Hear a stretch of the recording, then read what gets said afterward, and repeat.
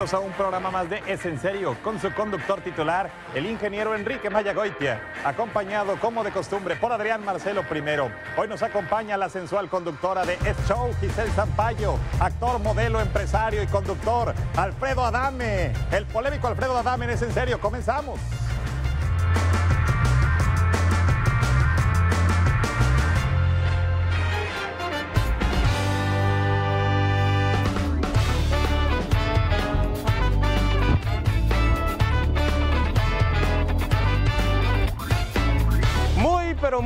Buenas noches, damas y caballeros. Un placer que nos acompañen otro jueves más de Es en Serio. Como siempre lo saben, tenemos grandes invitados. El programa de hoy en particular, tenemos a dos invitadazos. Un invitado que no creíamos que iba a estar con nosotros en esta sala nunca en Es en Serio. Aceptó la invitación y realmente vamos a gozar este programa. Además de una guapísima que también nos estará acompañando. Opinen con el hashtag Es en Serio vía Twitter. Pueden ir mandándonos sus comentarios, sus preguntas y todo lo que quiera saber y conocer de los grandes artistas que tenemos esta noche. Como ya lo sabe, no estaré solo. Me acompaña mi compañero y buen amigo. Él es Adrián Marcelo Primero. Ingeniero, con la sana distancia también, así puesto el cubrebocas correctamente por encima de la nariz y también cubriendo obviamente la boca.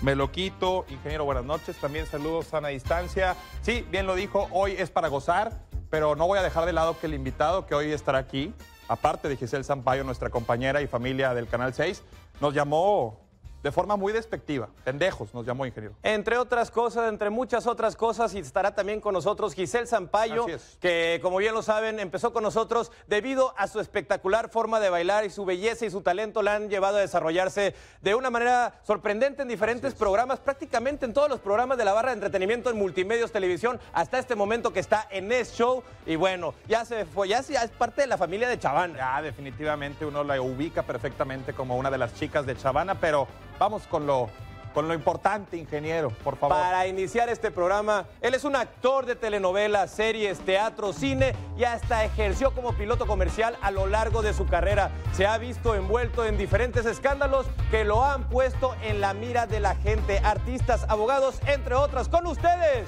Alfredo Adame. Muy buenas noches, Alfredo. ¿Cómo Tome estás, asiento, por favor. Bienvenido. Aquí, Está con nosotros.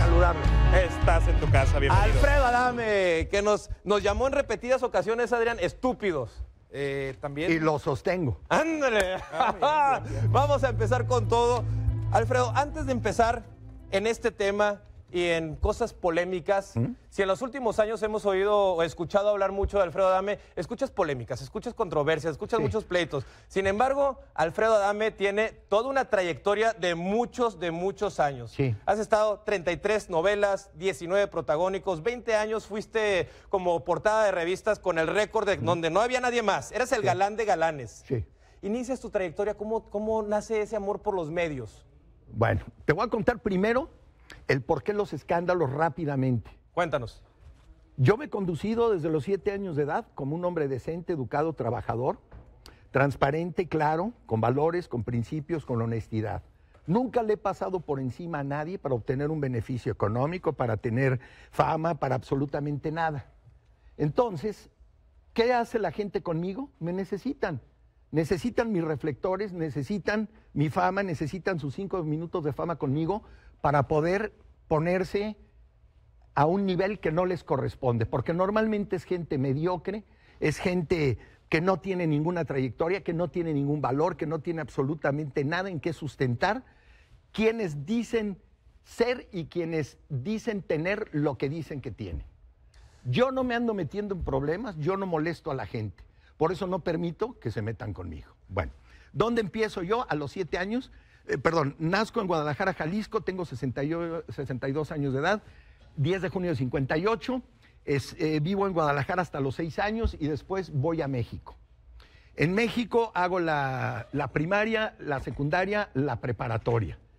Y fui campeón nacional de natación, Muy bien. fui a Juegos Centroamericanos, fui a Juegos Panamericanos. ¿Qué edad tenías en ese Fui, entonces? em, em, cuando fui a Juegos Centroamericanos, a los primeros fui a los 11 años. Muy A deportista, los 11 toda tu vida. Sí, fui nadador de... Primero fui campeón nacional, desde los 7 años fui campeón nacional. fui a Juegos Centroamericanos, fui a Juegos Panamericanos, fui miembro del equipo olímpico mexicano. Estuve a dos segundos a los 14 años de ir a la Olimpiada de Múnich. El tiempo tope para ir eran 55 segundos, yo hice 57.2 para ir, al- eh, fui al selectivo a Veracruz y a los 14 años. Después nadé dos años más, tres años más y luego ya no quise ir a la Olimpiada de Montreal y podía haber ido. ¿Ok? Ok. Antes estudié, me metí al karate, llegué a la cinta negra Junior Dan, que es antes de los 17 años, no te la pueden dar, te la dan roja con negro, y después me metí al taekwondo. Soy cinta negra cuarto Dan en taekwondo. Estudio, eh, eh, mi papá me estaba pagando la carrera de piloto comercial, empecé y de repente salí de pleito con él porque andaba yo en una época pues, de rebeldía, de reventón y de todo esto, eh, terminando la, la preparatoria. Y entonces se enoja mi papá y me dice, ya no te la pago. Digo, pues no me la pagues. ¿Cómo era tu papá? Mi papá era un hombre decente, educado, no tomaba, no fumaba, culto en la vertical, era un hombre muy sabio, de una pieza, hecho de una manera, de una madera totalmente diferente ¿Naciste como tu padre? como mi padre. Yo soy copia exacta, réplica de mi padre. Recto, honesto, te ve de frente, levanta la guardia si es necesario, te ve a los No se ojos. deja. ¿Cómo era tu mamá? Mi mamá era una señora alemana, este, con, un- con una mano de hierro, íntegra también, muy culta, muy preparada, hablaba siete idiomas, este, nacida en Alemania y era de, de puño. De ¿Cómo, puño cómo, cómo recuerdas la relación entre tu padre y tu madre? fue disfuncional. Este, mi familia era funcional, pero la relación de mis padres era disfuncional. Yo nunca vi ni gritos, ni sombrerazos, ni pleitos, ni insultos, ni absolutamente nada. Simplemente no se hacían caso. Y eso fue lo que yo vi desde los siete años que tengo uso de razón hasta, hasta que se divorciaron, ya grandes. Incluso yo le decía a mi papá, pues ya para qué te divorcias, mejor aguántala, ¿no? Pero nunca vi sombrerazos, nunca vi insultos, nunca vi violencia, nunca vi golpes, nunca vi absolutamente nada. Simplemente dormían en recámaras diferentes y no, este, y no se... y No se hablaban, No, no se, se hablaban, vamos, no tenían una pero no relación. se separaban. Era disfuncional, pero no se separaban. Mi padre cumplió cabalmente y al 100% como padre. Fue un proveedor maravilloso, fue un, un padre muy sabio, fue un hombre completo en toda la extensión de la ¿Cómo palabra. se conocen ellos, Alfredo? O sea, Mis papás se conocieron en, eh, en, eh, en un tren entre eh, Mazatlán y Guadalajara. La familia de mi mamá es una familia noble. Yo tengo el apellido von Knopp. Era una familia noble de Wiesbaden, Alemania. Este, eh, y bueno, se vienen a vivir a México. Mi, papá, mi abuelo se vio involucrado en la Operación Valquiria. Fue el general más joven del ejército alemán en la Primera Guerra Mundial. A los 19 años era general Ok. y tuvo dos veces la medalla de honor, la más alta, la Cruz Gamada, una por atrapar a 300 prisioneros rusos en la Primera Guerra. Por- como describes a tu padre, es una persona de carácter. Sí, no, bueno, ese era mi abuelo, ese era mi abuelo, Max von Pero Knopp. entonces, Y luego, ¿familiares se tuyos pertenecieron al régimen nazi? No, no, mi, mi abuelo era general en la Segunda Guerra Mundial. Pero para Alemania. Pero estuvo, sí, eh, eh, para Alemania, pero estuvo involucrado en la Operación Valquiria, entonces se tuvo que, Que es- pelar. quería derrocar de Alemania. que es lo que buscaba la Mi operación. mamá y, y mi, a- mi abuela y mi- sus hermanas se vinieron a vivir a San Antonio, Texas, estudiaban en el Our Lady of the Lake. Y mi, abuelo compró un rancho muy grande eh, en, eh, entre Musquis y Nueva Rosita, Coahuila. Eh, criaba ganado y lo cruzaba la frontera y todo ese rollo. Se salió huyendo de, Alemania por la Operación Valquiria. Y entonces, este, y luego se conocen mi papá y mi mamá en un tren entre Mazatlán y Guadalajara. Y entonces, pues inician el romance. La familia de, la familia de mi mamá era una familia, pues, muy rica, alemanes. Y mi abuelo, por parte de mi papá, fue diputado constituyente en el 17 por el estado Zacatecas. Fue presidente municipal de Zacatecas, de Zacatecas, fue gobernador interino, fue gobernador electo, fue ministro de Recursos Hidráulicos, fue canciller de México en Washington, fue embajador de México en Japón y tuvo muchos cargos públicos. Mi abuelo, Julián Adame a la Torre. De hecho, Luis Moya, Zacatecas, la ciudad nace dentro del San Francisco de los Adame, que era un rancho muy grande. Todavía hay una presa que se llama eh, eh, Presa Ingeniero Julián Adame la Torre y hay una estación de tren que se llama Los Adame. Se conocen en un tren, empieza el romance, se casan se van a vivir a Mazatlán, eh, nace eh, mi hermano el grande, después vienen al DF, nacen otros dos hermanos, luego viene mi hermano Enrique, nace en Torreón, y luego yo nazco en Guadalajara. Y a los seis años de edad nos venimos a, a México. Ok. ¿ok?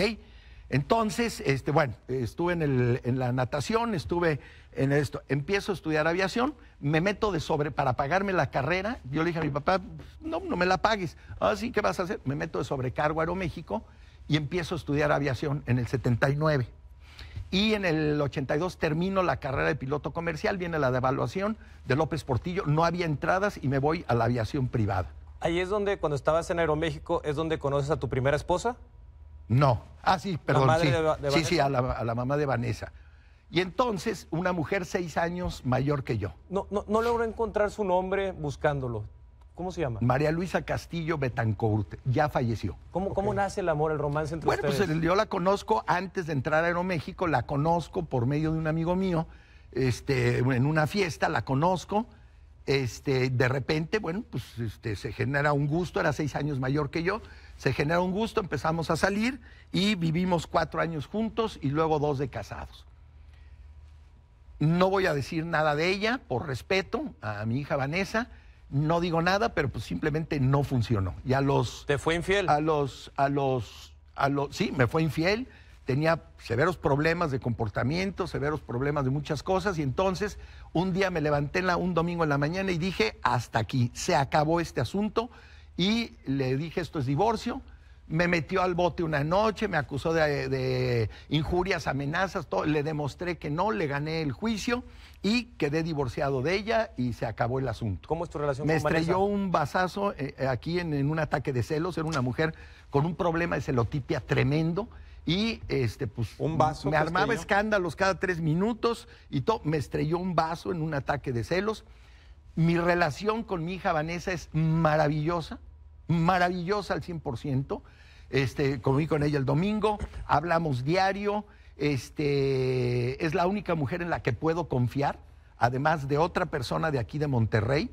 Este, es mi, es mi, es, es una mujer muy sabia, este, y es Pero prácticamente. ahí me hace un poco de ruido, Alfredo, disculpa que te interrumpa, pero la única mujer en la que puedes confiar, ¿no te parece que estás cerrando la hogar? ¿En cuántas Bueno, mujeres no tienes es contacto que, en tu vida? Bueno, con cuántas he tenido contacto y con cuántas me Pero he en el plano laboral, que confíes en no, alguien. Ah, no, no, Amigas, sí, digo, una no, amiga. me refiero, me refiero en la vida, en la vida ya, este, De manera ciega, íntima y sentimental, todo, ¿sí? Creo que es la única mujer en la que puedo confiar. En las demás que he confiado me ha ido muy mal. Y ahorita lo vamos a ir desmenuzando. Ok, entonces estabas en Aeroméxico Sí. sobrecargo y entonces, posteriormente. entre sobrecargo, no hay entradas en Aeroméxico, en el 82 viene la devaluación y me voy de copiloto a dos o tres jets privados, en la empacadora Hidalgo, me voy a agroindustrias, me voy a eh, con un ingeniero, me voy al empacador Hidalgo, me voy a la Comisión Federal de Electricidad y después en el 87, en noviembre del 87 presento exámenes en Aeroméxico, paso los exámenes, me quedo, me dan un inicio de fecha de adiestramiento el 15 de mayo del 88 y de repente quiebra Aeroméxico, bueno, viene la, la huelga el primer minuto del 13 de abril del 88, yo ya había renunciado a Aeroméxico, ya me había casado con otra, otra mujer colombiana, Diana Golden, una, una colombiana, que la conozco en un vuelo de Bogotá a México. Y entonces, en ese momento, me, este, me, bueno, viene la, viene, cuando yo vengo de regreso a la luna de miel de Colombia a México, este, estaban poniendo las banderas de huelga en Aeroméxico el, el primer minuto del 13 de abril del 88. ¿Ok? Y entonces entra la huelga, viene la quiebra técnica y viene la quiebra y se hace una sindicatura. Para esto yo hacía mucho comercial de televisión. Soy el modelo a nivel mundial que más comerciales ha tenido al aire. ¿Cuántos? Tengo un récord Guinness, 576, sin contar 500. los 30 que le hacía a FAMSA mensuales. Lo contaba como uno. O sea, podríamos decir que son 606. 570, no, no, 30 Sumándole los mensuales. Te Sí, puedo contar 10 mil comerciales. ¿Los contabas los comerciales? Yo los tengo, todos los tengo en video. Todos los tengo en video. Tengo un récord Guinness. A nivel mundial, nadie tiene más comerciales, ha tenido al aire más comerciales. Aquí en México, Llegó un momento en que en un día veías 12 comerciales diferentes. Tenías míos. un muy buen representante, el casting, ¿cómo, cómo es que Sí, podías? Carlos Jiménez era el representante. ¿Sabes cómo llego yo a la modelada? Yo tenía una novia que ya falleció, O sea, que hacía comerciales de televisión. Te estoy hablando hace más de 40 años. Y entonces eh, ella hacía comerciales de televisión. Un día me lleva, me, me dice, acompáñame a un casting con Patricia de Llano, la ex esposa de Luis de Llano, Sí. el productor. Y entonces llego a, la, a Cinefex, era la, la empresa, la acompaño, llega Patricia y le, hola Olivia, ¿cómo estás? Y él dice, no, pues es mi novio, viene al casting. No, no viene al casting. Ah, pues pásale al Qué casting. bueno. Nos gusta. Entro al casting y me quedo con una serie de Pedro Domecq de siete comerciales para la temporada navideña. Y ahí empezaste. Me quedo de protagonista de los siete comerciales. Entonces me dice mi novia, tú, pues tú ponle que Carlos Jiménez, ya falleció, Carlos Jiménez era el representante. Entonces hago esa, esa serie y de ahí uno tras otro. Llegó un momento en que tenía 12 comerciales al aire. Fuji, Curity, Sucaritas, SM de drogadicción, el portón Banamex, cuenta maestra Banamex. En un mismo día había este, carrier comerciales que tenía hasta tres comerciales en un momento. Regresando un poco al tema de la aviación, por ahí es- salió un rumor y se especulaba que habías comprado tu título, que era una escuela patito y tú sabes Mira, eso. ¿Quién? Yo te voy a decir ¿Quién cuál, te dice qué eso? es esto. Bueno, pues, ¿quién lo dice? Pues algún estúpido. Este, el éxito envenena. La frustración, la amargura, los complejos y la envidia tienen el sueño muy ligero. Eso solo un estúpido lo puede decir. Ahí mandé mis licencias, ahí mandé mis, mis, este, ahí tienen, ahí está mi licencia de piloto comercial. ¿Cómo compras una licencia de piloto comercial? ¿Sabes la única forma de comprarlo? Pues, ¿el mercado Hacer negro? cuatro años y medio. No, ¿cuál mercado negro? No existe. Digo, digo. Cuatro años y medio Otra cosa es ya de una que carrera y hacer las 180 horas que se necesitan para la licencia de piloto comercial. Correcto. Ahí está mi título también. Bueno, ahí está la Asociación Sindical de Pilotos Aviadores. ¿Quién es la Ahí persona está- que empieza este rumor a difamarte? ¿Quién es el ángel de los sueños? No, no sé, no sé ni quién será. Yo nunca había escuchado eso. Que dijeran que compré, que, que- que compré mi, mi licencia de piloto comercial. Ahí están. Y te puedo enseñar mi bitácora de vuelos y te puedo enseñar fotografías de mi escuela de aviación. Ahí está, piloto comercial, y ahí está mi título. Alfredo, necesitamos ir a una pequeña pausa, pero al regresar Órale. queremos seguir platicando de toda tu trayectoria, también de tus exesposas, de las personas ¿Mm? Con las que que, has quieras. tenido conflicto, de tu familia y tenemos una invitada muy especial, pero además Alfredo tiene una fundación Así para es, ayudar a las personas eh, necesitadas aquí precisamente en Monterrey se puede ayudar. Nos va a estar platicando de ella y vamos a platicar también de nuestras diferencias. Ah, claro, por Ojalá supuesto. podamos arreglarlas el día de hoy. Empezamos bien. ¿Te sientes Tráete los cómodo? guantes. Alfredo. Ahorita, ahorita, ahorita, ahorita. Su carrera es una de las más prolíficas dentro del mundo del espectáculo, ya que Alfredo Adame ha sido uno de los actores más cotizados en los melodramas. El artista inició con el pie derecho dentro de las telenovelas que lo catapultaron como el galán más importante de la televisión. Mi segunda madre, Balada por un amor, Yo no creo en los hombres, De frente al sol y Más allá del puente son tan solo algunas de las historias consideradas ya clásicas en las que ha dejado su gran profesionalismo y capacidad histriónica. Adame también ha tenido la oportunidad de destacar en grandes montajes de teatro como Celia el musical. Esta noche en Es en Serio, el laureado galán de telenovelas nos hablará más acerca de su carrera artística, su paso por los vuelos comerciales y privados en su época de aviador y por supuesto de todos los escándalos en los que se ha visto envuelto. Para Es en Serio, Miguel Díaz. Solamente un poco de la trayectoria de este hombre que tenemos como invitado esta noche. Mi querido Alfredo, esta, este programa se identifica por las redes sociales. Siempre tenemos mucha actividad porque a nosotros nos gusta escuchar lo que usted opina. Sigo opinando con el hashtag Es en serio. Tenemos algunos tweets, Adrián. Por acá, ingeniero, nos dice Carlos Market, don Alfredo Adame es usted mi ídolo, desde que le mentó la madre a la señorita Laura. Sigo esperando el día que le meta la puti a la golpiza de su vida a Carlos Trejo. Hashtag es en serio. Tenemos más tweets, tenemos más tweets. Claro que sí, ingeniero. Yo solo leo lo que la gente pone. Dice Alberto, el Joker. El arroba Kike Mayagoiti, así le rompe su mandarina en gajos a Alfredo Adame. Adrián no le dura ni cinco segundos. ¿Te tienen, te tienen menos- menospreciado? Cinco segundos. ¿Cinco segundos? sí. Yo soy eh, inofensivo, antibélico y jamás optaría por la violencia Vamos antes de otro con tweet, otro tweet con el hashtag ¿Es en serio? Dice hashtag es en serio, Miguelón 2010. Alfredo Adame, si le sabe, 40 años al aire, modelo, novelas, piloto, polémico, mujeriego. Y míralo, aquí sigue dando de qué hablar. Todo un artista y personaje. Eh, ahí está, ingeniero. Ahí está, lo que opina el público. Sigan mandando sus preguntas y comentarios, nos vamos a pasar al aire. Alfredo Dame, el programa hoy, programa muy exitoso en su tiempo, con mucho auge, muy concurrido. Y bueno, ¿cómo era tu experiencia de estar en hoy? Bueno, ¿por qué llego yo a hoy primero? Este, en, este, tengo este problema, tengo este otro problema y pues de salud no estoy bien y todo. ¿Quién podría ser tu sucesor? Sin dudarlo, en ese momento Raúl Velasco dijo Alfredo Adame. Esto me lo dijo Raúl, que en paz descanse, me lo dijo Dorne, me lo dijo eh, su hijo, Arturo, me lo dijo este, Luis Mario Santoscoy y me lo dijo todo. Y ya, ahí se quedó. Al poco tiempo me llama Salvador Ortiz, que era un productor de Televisa, que producía el, el programa de Guillermo, eh, Guillermo Ochoa.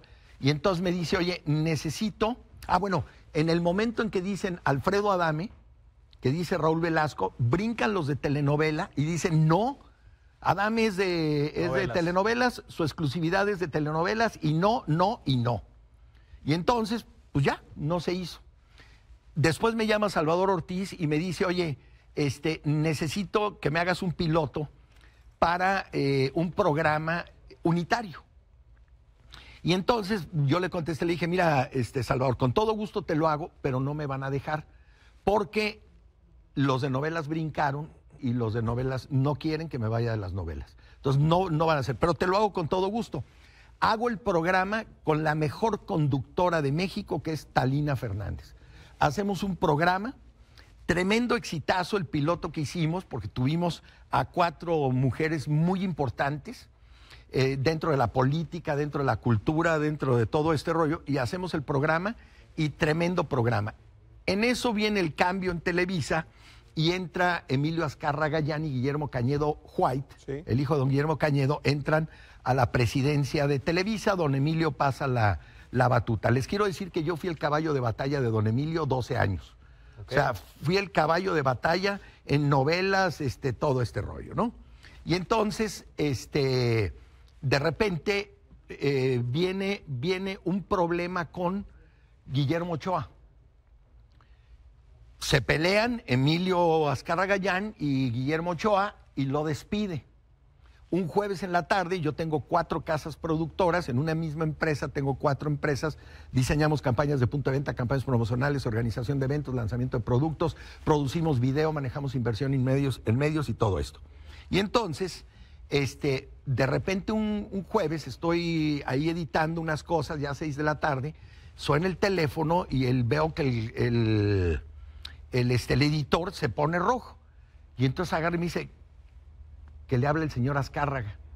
Yo había comido con unos cuates ese día en un restaurante que se llama La Buena Fe, donde estaba comiendo un cuate que siempre me hablaba que es su profesor de ballet, que dígale que le habla a Emilio Azcárraga, dile que, que te están cotorreando.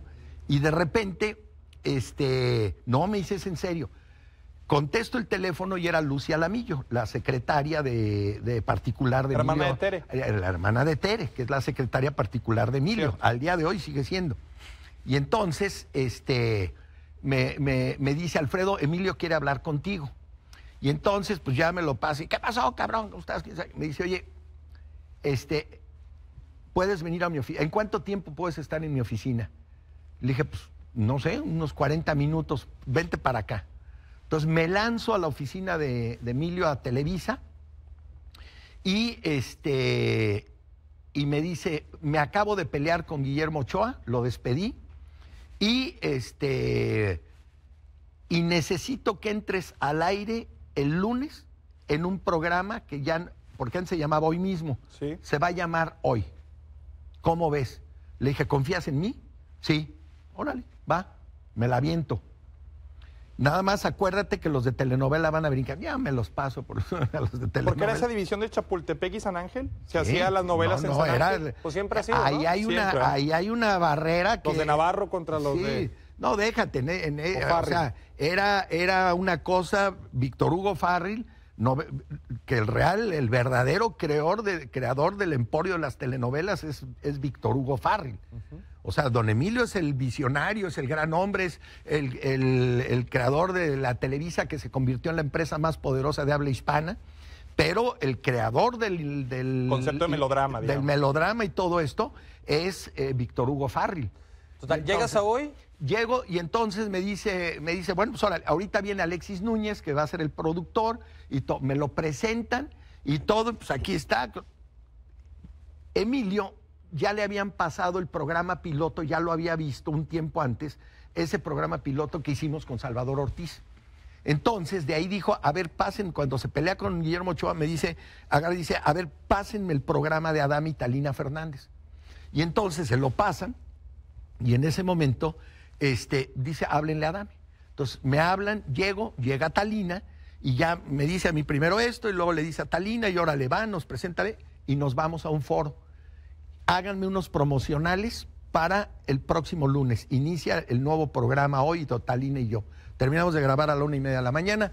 El viernes fuimos, hicimos este, eh, unas pruebas, tiros de cámaras, tra, tra, tra, tra, tra. Y, este, y el lunes a las 5 de la mañana estábamos Talina y yo, empezábamos a las 6 de la mañana. Estábamos Talina y yo en el, en el estudio sede de, de Televisa Chapultepec. A las 6 arrancamos eh, hoy, el programa hoy. En ese, en ese momento, hoy era de 7 horas. Cuando arrancamos, Claro. era 7 horas diarias. Era el programa más largo de la televisión a nivel mundial.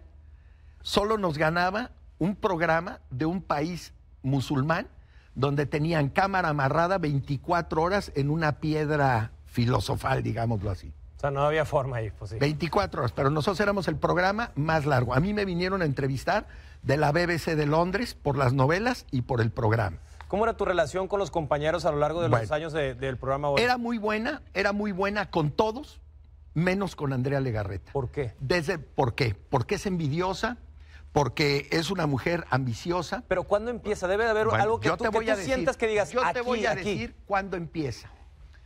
Unos dos años antes de iniciar el programa, el programa hoy, me contrata el señor Junco, Fernando Junco, que es un gran, fue un gran empresario de teatro. Este, me contrata para una obra de teatro donde Andrea era, iba como actriz. Iba, era el último crédito. Yo iba protagonizando la, la- obra de teatro y ella iba. Y entonces se mostraba envidiosa, se mostraba. De repente un día, aquí en Monterrey, se nos suben en esa obra, iba Arturo Peniche, Rafael Rojas, yo. Se nos suben las fans, querían fotos, y si no dejaba, si no volteaba yo para tomar la foto, porque era el de moda en ese momento, igual Peniche, igual eh, Rafael Rojas, este, no dejaban de gritar, entonces volteé, tomaron fotos y todo el rollo, y yo seguí con la obra. Cuando termina la obra, hace declaraciones Andrea Legarreta de que yo que rompí la cuarta pared y criticándome. O sea, el otro día sale en el periódico aquí en Monterrey que yo que rompí la cuarta pared. Le dije, ¿tú dijiste esto? Pues que sí, que... Ah, ok. Bueno, pues, Ahí empezó. Yo llegué, ahí empezó. yo, yo llegué a escuchar posteriormente comentarios donde cuando a ti decían el piloto, aviador, él decía, él, a ver, a ver, él no se equivoca, El él es azafato. Sí, sí, claro. Él es aeromozo. Y lo dijo Sí, te 20 denostaba. veces. ¿eh? Me- Ya, o sea, ya estaba Sí, fuerte claro, el pique. Claro, ahí ya, ya este, ya de repente, este, pues ahí ya, ya, yo terminé, bueno, pues, o sea, haciéndola menos porque no era nadie importante. Y entonces, de repente nos llaman para hoy y la llaman a ella porque ella estaba con Guillermo Ochoa. Yo te quiero decir que Guillermo Ochoa la vomitaba. Guillermo Ochoa la vomitaba. No la podía ni ver. ¿Cómo Bueno, logra posicionarse? ¿Eh? ¿Cómo logra Ah, posicionarse? bueno, pues. ¿Cómo? Pues, Ah, es que estás Eh, no, algo. ¿Cómo, eh, pero- no, cómo pues, logra seguir bueno. al, año, a- al aire tantos años? pues no logro entenderlo yo tampoco. Bueno, pero, alguna conjetura tendrás. No, bueno, pues tengo ti- muchas. ¿A ti se te llegó incluso a ofrecer alguna vez pro- este, dirigir el programa hoy? ¿Ya a con mí la se me experiencia? ofreció, claro. Pero tu primera regla lo iba a ser... primero que dije fue y usted contrataría a Andrea Legarreta y le dije, nunca, la primera que saldría, si a mí me dan para producir hoy, la primera que va para afuera es Andrea Legarreta. ¿Alguna vez Me quedo con el negro Araiza, me quedo con eh, Galilea Montijo, que daban rating, daban ventas, daban todo. ¿Te parece que es mal en su Pero- trabajo, Andrea? Aparte de- Me parece que no es conductora, Pero- me pero- parece que es ignorante, me parece que es una persona que no tiene nada que hacer en la televisión. Eso me parece. hay algo personal, Alfredo, es evidente. No, claro que lo hay personal. Pero entonces ah, bueno. talento- Llegó a ver- Sí, bueno, no, no lo vamos, no lo voy a decir No, aquí. exacto. Hubo algún momento, yo llegué a escuchar algún rumor, tú desmiéntelo si no es cierto, donde tú llegaste a asegurar que Andrea Legarreta engañaba a su pareja con un alto directivo de la empresa. Bueno, pues. Eso es, bueno, eso yo no lo voy a decir, o sea, no me corresponde a mí ni me interesa decirlo. Está protegida. Pues claro, claro. O sea, tú dime, dime, eh, dime, mencióname una sola característica que tenga Andrea Legarreta para estar en el lugar que está. Dime una. Nociones de economía. Una mujer, bueno, una mujer inteligente, una mujer este, preparada, una mujer culta, una mujer. Dime una. Una Te doy un millón de dólares y me dices una. En la que haya demostrado que es una persona que tiene, que tiene Bueno. algo para estar ahí. Bueno, es que cual- cualquiera que, que te podría Lo que decir, pasa es una es que a mí conductora la vida privada- que tiene mucho tiempo ahí. Lo que bueno, pues ¿por qué? ¿Por qué está ahí? Sí. Bueno, pues ¿por qué está ahí? Yo no te lo voy a decir, a mí no me interesa. Digo, hay, hay competencias Ah, como conductor de un programa de revista matutino, es madre de dos niñas, Sí, puede- sí, habla con sí. propiedad, o sea, eh, eh, entrega bien el mensaje, o sea, ¿La consideras falsa a cuadro con lo que es proyecta? falsa, es, es, este, es, es una mujer de doble moral, es una mujer de, pues de muy mala reputación, es una mujer que se ostentó durante años de- como la primera dama de Televisa y decía que ella pues, era la que mandaba en Televisa y corrió a siete productoras y productores, corrió a 13 conductoras del programa que les quitaran el les quitaron el trabajo, este, dejó sin trabajo a medio mundo, maquillistas, Y esto y lo otro y aquí. Algo que se hizo viral y que seguramente ya están comentando en redes sociales ese, es ese famoso sketch donde cállate perra o quítate Sí, perra. ¿cómo eso, es? eso te voy a decir qué fue lo que pasó. ¿Te salió el corazón? Nosotros teníamos el, el- el- el- los jueves, me acuerdo, teníamos un sketch donde yo era un taxista. Ella era una señora fifí, este, cretina, arrogante y soberbia. Y entonces, como es en la vida real, y entonces, pues me empezaba, yo iba manejando y me empezaba, y entonces en ese sketch lo habíamos ensayado y ella me decía, no, es que por aquí, oiga, espéreme, déjeme. to-". Y yo le tenía que contestar, quítate bruja. Y en ese momento se, se había puesto de moda en México la palabra perra. Mi perra, y todos los cuates decían, no, es que es mi perra, mi novia, y esto y lo otro. Y entonces yo de repente, en vez de decirle quítate bruja, le dije, quítate perra. Agarró, se ofendió, casi llora, armó un escándalo, fue pues, allá arriba a quejarse y a acusarme, cosa que no me pasó nada, porque yo era el consentido de Televisa, porque era el que le metía dinero, porque era el que le metía rating, porque era el, era el rey del rating, ¿me entiendes? Entonces no me pasó nada. Ahorita que me lo preguntaste y me dices, bueno, ¿te salió del corazón? Pues ahora que lo pienso, me salió del alma. ¿Le pedirías Aquella- disculpas algún día? Nunca, nunca en la vida le pediría una, una y se disculpa. ofrecen, las disculpas se ofrecen. No, no, no, no, ni le ofrecería, ni le pediría, ni absolutamente nada. En- en ese- Simplemente me salió del Pero, a ver, Alfredo, tú, de hecho, antes de entrar a este programa platicamos y tú afirmaste, no soy misógino. No No, soy crees, no, sé, misógino. disculpa, no estoy Sí, diciendo no, que lo seas, no, no pero ¿no crees que este tipo de conductas No. evidencian no, que yo puedes tengo- tener un, no, un cierto yo tengo odio? una virtud o un defecto. Yo le digo sus verdades a las malas personas, hombres o mujeres. No nada más a las mujeres. A Trejo se lo dije. Agarras parejo, dices Ah, tú. no, no, yo agarro a las malas personas. Yo nunca le he faltado, y te voy a hacer otra vez el mismo ofrecimiento, se los hago. Por favor. Si tú me paras enfrente a una mujer, una mujer o una dama, a la que yo le haya pegado, la haya ofendido, denostado, humillado, insultado, faltado al respeto, te doy un millón de dólares. Ok, pero bueno, aquí entra algo. Que tú las catalogas en quién es una dama y quién no es una dama. Bueno. Y todas las mujeres con las que has tenido conflictos para ti no son una dama. No Entonces son damas. justificas eso. ¿A No ellas son sí damas. sí les has agredido? ¿Que no las catalogas como no, dama? tampoco, tampoco. ¿Y no crees que eso está mal? Diana Golden nunca dijo me pegó o me insultó o me zarandeó o me ofendió todo. Susana Quintana, la de Guadalajara, nunca dijo me. A pregunta expresa de Gustavo Adolfo Infante, todas, y de Pati Chapoy y de todos de Ventaneando, nunca dijeron me pegó, me denostó, me humilló, nada. ¿Cómo te La única que dijo, la única que dijo en mí ejerció violencia psicológica fue Maripaz Banquels. Y yo le contesté, bueno, ¿y entonces por qué no se largó cuando estábamos cenando langosta en Venecia? ¿Por qué no se largó cuando le estaba gastando 15 mil dólares en ropa en Nueva York?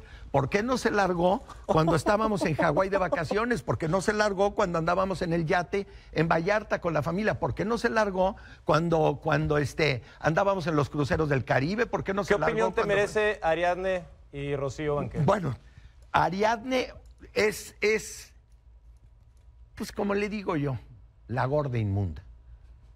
Es una, es una mantenida, encajosa, mala persona. Iba a mi casa a hablar de mal de mí frente a mis hijos. Y sabes, cuando le, decía, le decía yo a las muchachas que me contaban decía, ¿y qué decía la señora Maripaz? No, pues ya sabes cómo es, así es, y bla, bla. Decía que era yo un naco, que era un pendejo, que era, que como Televisa me tenía y todo. Ariadne Banquels, a la que le presté dinero, le mantuve a la familia, les mantuve a todos. Maripaz Banquels se casó conmigo para salir de jodida y para que le mantuviera la familia. ¿Y, co- y com- ¿Cómo te lo digo? Actualmente. Sí, y me dicen, ¿cómo habla así de la madre de sus hijos? Tú puedes entender, tú sabes la desilusión y la, y la decepción que me- yo me llevé la primera vez que me caché a Maripaz Banquels, que me robó un cheque De 60,000 pesos para Rocío. Para dárselo a Rocío Banquels. Yo tengo una, tengo, tengo una duda. ¿Cómo es tu relación con Diego, con Alex, con Sebastián? Bueno, ahorita ya se terminó. ¿Por Ahorita ya se terminó. ¿Cómo se termina una relación con hijos? ¿Por qué terminó? Ellos, la mamá lo- les estuvo lavando el cerebro durante años. Termina la relación, yo le pido el divorcio. Un día me levanté en la mañana, le digo una cosa, me contesta y le dije, esto es divorcio. Eres igual de mala persona que toda tu tal familia de tal. ¿Ok? Y es divorcio. Y le dejé de hablar, le cerré la llave económica y le dejé de hablar. Y entonces, pues ok, vino el divorcio. Cuando, cuando ya se separan y se va la mamá de, de mi casa, yo, le- yo les dije, miren, el que se quiera quedar a vivir aquí, porque te, pu- te puedo decir una cosa y te lo digo bien claro. Fui el mejor padre, fui el mejor proveedor, fui el mejor amigo, el mejor compañero, el mejor motivador. el ¿Puedo mejor hacer un apoyador. paréntesis ahí? ¿Sí? Me gustaría hablar en particular de Sebastián. En este momento que tú mencionas que fuiste el mejor padre, el mejor proveedor y el mejor amigo. Antes de empezar el programa, hoy en la tarde, Sebastián me contacta vía Instagram y me dice, quisiera poder decirte algunas cosas de mi papá, Alfredo Adame, antes de que esté él ahí diciendo cosas para que tú tengas otra versión. Yo le dije, ¿por qué mejor no enlazamos una llamada al aire y se las dices tú? ¿Qué fue lo que pasó o cuál fue la molestia? ¿Y no hay ningún problema? No, yo no tengo ningún problema. Tenemos a Sebastián en la línea. Buenas noches, Sebastián, ¿nos escuchas? Hola, buenas noches, ¿cómo están? Muy bien, Sebastián, como platicamos en la tarde, un placer que nos, nos atiendas con esta llamada y pues bueno, para que tú puedas contar tu versión y nos comentabas que efectivamente, como dice Alfredo, la relación había terminado hace algunas semanas. ¿Debido a qué, Sebastián? Eh, pues yo no la consideraba terminada, yo solo no estaba hablando porque pues sucedió lo siguiente. Yo di una entrevista en Ventaneando acerca de mi vida, como muchos saben aquí en México, pues me estoy tratando de meter de, de actor. Entonces pues di una entrevista sobre mi vida y al final salió sobre mi sexualidad, es una parte importante de mí y la dije. El día que salió la entrevista en la noche, mi papá me habla para pues para regañarme, para decirme es que ya te había dicho que a mí no me gusta que hables de tu sexualidad y no quiero que hables de tu sexualidad en entrevistas y porque me pones a mí en el ojo del huracán y a mí me están atacando y a mí me están insultando que mi que mi hijo joto y quién sabe qué tanto y quién sabe qué tanto le estaban diciendo. Total, estaba muy enojado. Yo le dije, papá, a ver, relájate. Si a ti, si a mí me vale lo que la gente tenga que decir de mí, este, pues a ti te debería valer más. Total que se siguió enojado, me colgó la primera llamada y pues yo le volví a, a- a llamar porque pensé que se había cortado. Le, me contesta, me dice, no, es que te colgué. Este, y yo traté de explicarle por segunda vez que la entrevista no había sido sobre mi sexualidad, la parte final sí salió mi sexualidad y que nada más era de mi vida, de lo que había pasado en el accidente y total, que al final me, antes de colgarme me dice cabrón. Yo le, este, me, cuelga y le mando una tercera vez la explicación por WhatsApp y diciéndole, papá, relájate, esto fue lo que pasó, porque pensé que pues se iba a dormir, iba a leerlo en la mañana y pues iba a entender un poquito y ya se iba a calmar. Y en, vez, y en vez de que pasara eso, lo que pasó fue que me manda un audio diciéndome, te voy a decir cabrón las veces que se me antoje, pendejo de mierda. Alfredo, es- Y- es- esta- y disculpa que te interrumpa, Sebastián, me gustaría escuchar, Alfredo, ¿esto sucedió? Sí, esto sucedió, claro. que ¿Esta fue la razón del distanciamiento? Sí, claro. y por fue esta la- misma razón, esa- sí, ¿el distanciamiento también es con Diego y con Alex? sí. Con Diego fue al principio cuando, cuando viene la, la separación, pasó un año, no hubo nada, y de repente un día Diego no fue a una comida el primero de enero, este, y de repente pues, dije, bueno, ¿qué pasó? Le dije a Sebastián, dile a tu hermano que venga a hablar conmigo. Viene el hermano y me dice que soy un mentiroso, que lo que había dicho de la mamá y que lo que había eh, sostenido y que todo que era mentira. Y le dije, Diego, tú sabes, tú mismo le reclamaste a tu mamá y tú le dijiste, ya deja de estarle robando dinero a mi papá para darte a, la- a darle a tu familia y ya deja de estarle haciendo y esto y lo otro. Y no, pues eres un mentiroso. Le dije, bueno, pues, sal, vete de mi casa. Y luego todavía en- me dijo, yo te quiero mucho y no sé qué. todo. Le dije, para afuera. Tú les proveías hogar. Sí, yo, yo estaba pagando todo. Yo estaba pagando todo y todo. Y de repente este, pues, se fue Diego. Y entonces ya, rompí la relación y dije, pues no me interesa. Con Sebastián, en el momento en que él me dijo, este, un día, un día le dije, oye, Sebastián, este, y la novia cuándo y todo, de repente me habló que si podía ir a mi casa. Y yo, como de broma, le dije, oye, ¿cuándo vas a presentar a la novia? Y me dijo, bueno, pues no va a ser novia, va a ser novio. ¿Cómo? Me dijo, papá, pues mis preferencias sexuales son estas y bla, bla, bla. ¿Qué hice? Lo abracé, le dije, yo te apoyo, soy tu papá, te quiero, te amo, cuentas conmigo y todo el rollo. Y ya. Y le dije, sé muy prudente con esto porque por ahí me van a atacar. ¿Quién empezó a atacar? El estúpido marrano de Carlos Trejo. Y fue el primero que lo dijo y fue el primero que no sé qué y bla, pero bla. ¿por qué consideras esto un ataque? Pero, ¿un ataque? ¿Tú crees que es agradable que te digan tu hijo es puto? Eso, y tu eso, hijo es eso, eso, eso es problema, hijo- es el problema de la persona que lo dice. Por eso. ¿No tuyo? Es un ataque. No, es una- un mal. ataque. A ver, entiendo A aquí ver, que es un si ataque. yo te porque- aviento una piedra, ¿es problema mío o te va a causar un problema a ti? Pero ¿por qué dejas que esa piedra te Ah, lastime? bueno. Si tu hijo es gay y tú lo Bueno, aceptas, que le, espérame, que le no, pero es importa la al otro? forma en la que le están Sí, llamando es la, la que forma. le molesta, según yo, Es lo que quiero entender, porque que le digan, o sea, que le recuerden su orientación sexual no tiene nada malo. tiene nada No, malo. que le digan despectivamente puto, sí. Que te estén fastidiando Entonces, con enoja- eso. Pero no te enojes con él. Que te- no, no, yo no me enojé con él. Yo le dije, Sebastián, por favor, sé prudente. Después que vinieron varias entrevistas, todo, le dije, ya no des entrevistas en ese sentido. No digas nada, ni des entrevistas porque te van a agarrar y lo van a poner. Y lo primero que hizo, va a este programa de, de- de Azteca y, y lo ponen, o sea, lo ponen eh, a- saliendo y, y su orientación sexual y todo ese rollo. ¿Para qué lo hacen? Para joderme a mí para fastidiarme. Y entonces le hablo y le digo, Sebastián, te dije que ya no dieras entrevistas. Pues no sé qué, pues quién sabe qué, bla, bla. Y fue cuando le dije, cabrón, te lo dije. ¿Se te hace ese un tema como para decir que ya no existen para ti tus tres hijos? No, sí, ya, ahí se acabó la relación. Se acabó la relación. Yo ya me desentendí de esa familia. Ya no quiero saber nada de ellos. Ya no quiero. Han seguido actuando este, eh, con la mamá, han seguido haciendo cosas, este, y han seguido que lo único que, que me doy cuenta es que para lo único que me necesitan es para que les dé el dinero, para que les pague los celulares, las universidades, pero, las es- pero escuelas son y todo. tus hijos. ¿Eh? Son tus hijos. Pues bueno, yo aprendí a deshumanizarme. Sebastián, eh, ¿sigues en la línea? Sebastián, Sí, ay, nada sí, más para, para concluir este tema, algo que le quieras decir a, a tu papá. Este, no, pues, pues la verdad creo que ya él dijo todo.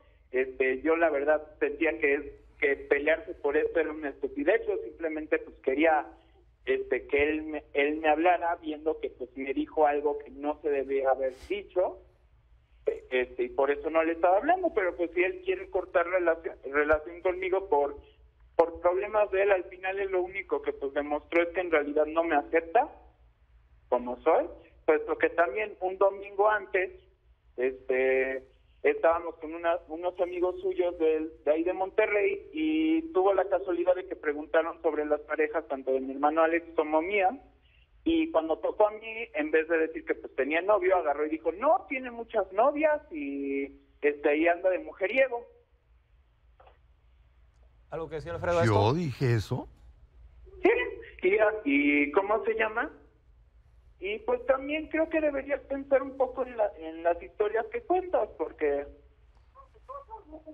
pues sí, este, yo ya ni voy a decir nada, yo ya pues voy a ir cuando cuando regreses aquí a México, voy a ir por, por mis perros y por mis cosas a mi cuarto que se quedaron ahí en la, en la casa. Este también pues quería decir que, que no sé por qué te peleas con Alex, y pues Alex dejó de hablarte también desde hace tres semanas por defenderme a mí, porque tampoco le pareció que a mí me dijeras eso por por simplemente una cosa que pues era asunto tuyo, como te dijeron, o sea, si, si están atacando a tu hijo, pues se supone que deberías defender a tu hijo, no atacar, no enojarte con tu hijo porque te están atacando a ti. Creo que había cosas, hay cosas más más pesadas de las que te están diciendo a ti Sebastián, ve, eh, Adrián Marcelo acá, eh, mi estimado, y lo que confiesa o aquí declara tu señor padre con respecto a que solo lo buscas por dinero, eh, eso también me gustaría que lo contestaras. ¿En verdad te acercas a él como para saber cómo se siente, cómo está, cómo le está pasando o en verdad lo necesitas nada más para que provea? No, pues para empezar yo siempre me, le escribo todos los días y no necesito mentir. Aquí tengo los WhatsApp de todo de todos los años desde que nos salimos de su casa tengo los WhatsApp de que le he mandado este mensajes en la mañana de que lo saludo de que le digo buenas noches papá todos los domingos voy con él me he peleado con mi pareja porque me dice vamos a vernos el fin de semana que tenemos poco tiempo y le digo no no puedo los domingos porque es el día que puedo ver a mi papá y es el día que a él le gusta ir a comer entonces no puedo cancelar ese día. Este, yo fui el único que iba con él a todos lados. Incluso hubo una pelea antes, una semana o dos semanas antes, que por el Día del Padre, que él también se supone que íbamos a comer y se enojó por quién sabe qué con nosotros y no me quería abrir la puerta de la casa y nos peleamos, que me acusó de que yo le estaba, de que yo le había robado su pasaporte, este, de que yo solo lo andaba buscando por dinero, de que cuando nos salimos de la casa yo no le hablé este como un año y la verdad es que no, porque y, que, y ahí tengo grabada la conversación de que quedó bien claro que desde el, desde la semana que no salimos de aquí yo seguí yendo con él, puesto que también él fue el que me acompañó por mi, por mi regalo de cumpleaños. Sebastián, disculpa que te interrumpa, Sebastián. Me están indicando necesitamos ir a un corte, pero no me gustaría cerrar esta llamada y este tema sin antes escuchar la conclusión de Alfredo. ¿Algo que le quiera decir a Sebastián? No, yo no le quiero decir nada. No tengo nada que decirle. Lo que dijiste ya no hay forma de retractarse. No hay forma, sí, no hay dicho, forma. dicho está. Lo dicho, dicho está. Y lo sostengo. Aunque seas tu sangre. No es mi sangre. Pero Alfredo, el, yo llegó un momento en que tuve que andar mendigando el cariño de mis hijos. Seguro. Yo no creo que eso me lo merezca. Yo no creo que eso me lo merezca. Entonces, bueno, pues llegó un momento en que ya dije, pues ya, mira, Aquí cada quien para su casa. Sebastián, necesitamos ir a una pequeña pausa. Te agradecemos la llamada. Esperemos que esto en un futuro realmente se pueda arreglar. Pues entre familia las cosas se tienen que arreglar de buenas o de malas en algún momento. Vamos a una pequeña pausa. Usted puede opinar con el hashtag Es en serio. Mande sus preguntas y comentarios. Tenemos a Alfredo Adame, como usted ya lo conoce, sin censura, con su verdad, con su forma de pensar. Así es, mecha corta, explosivo el señor Adame, pero lo hemos llevado bien. ¿Eh, ¿Se siente bien usted, señor Adame? Yo sí, yo muy Muchas gracias. eh, y gracias a ustedes también en casa. Eh, más adelante estará la... Pues, ¿qué, ¿Cuál qué el hiciste, problema? ¿Qué, qué hiciste decir A que te daba asco yo porque me lanzaba una candidatura por una alcaldía? Pero no fue así, no. Tú recuerda que las Ay, ay, ay. palabras, las palabras son como la bala. Una vez que salen del cañón no tienen regreso. Yo te voy a decir lo que pasó. Bueno. Te voy a decir para que tú veas cómo las cosas se entienden mal. Ay, chicos, voten esa tarjeta porque yo nunca leo tarjetas. Ok, cuando a mí me preguntan qué opinas de que artistas intervengan en política, Sí. mi respuesta fue, después de lo que me pasó en Perú, que terminé chingada porque estaba en televisión Sí. y me metí en política, yo creo que nadie, da- nadie se debe meter del mundo artístico en la política. Sí. Pero eso fue todo. Yo no dije que asco, Lo que mucho dij- menos. no, sí lo dijiste porque yo lo vi, me mandaron el testigo. pero Si a ver, yo no, era para ti, era para todos. Yo no reacciono. Bueno, pero yo era uno de los implicados porque me metí a una, a una campaña política. Ahora, si te metes en política, lo primero que tienes que tener Sí, sí, sí. es Sí. la valentía de asumir las críticas. No, no, no, no. Entonces, no, si yo te no. critiqué, La ¿por qué vas a crítica- atacarme? Espérame, la crítica Acabamos de ver prácticamente el principio de cuando se pone calientita la discusión con Laura Bozo. Yo por lo que veo de Laura Bozo, ella estaba intentando acomodar o explicar lo que ella dijo de una manera en la cual no te había buscado ofender. Sin embargo, tú te alteraste. a su conveniencia. Vámonos al antecedente. Cuando la campaña política, yo me lanzo a la alcaldía de Tlalpan, ¿ok? Y entonces eh, se lanza Sergio Mayer y se lanzan ocho actores o nueve actores más a diputaciones y a, a varias, a varios puestos políticos. Y entonces esta señora agarra y dice que le dan asco los actores que se lanzan a la política. Cosa que ya había hecho en Perú. Sí, cosa que ella había hecho y a mí no me interesa. Pero que le dan asco. Si yo me estoy lanzando a la política y ella dice que los actores que se lanzan a la política le dan asco, ¿a quién va dirigido? A todos los que sean actores que se lanzan en la política. Y lo dijo. Incluido en el paquete. Y lo dijo, ¿ok? Por eso yo le dije, la palabra es como la bala. Una vez que sale del cañón no tiene regreso y va a llegar a hacer daño.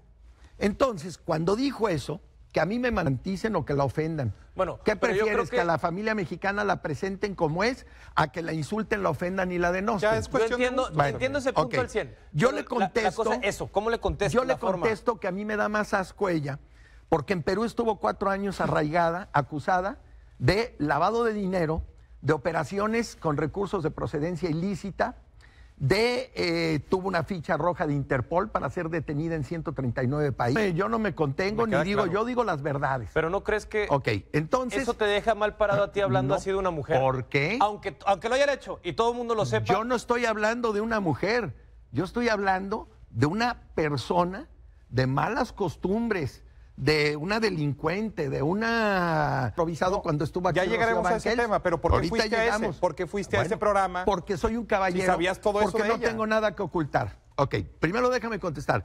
¿Qué fue lo que le contesté? Eso le contesté. Y entonces le dolió y me le fui a la yugular y entonces decidió pararle porque ya no le convenía, porque la estaba exhibiendo de lo que es.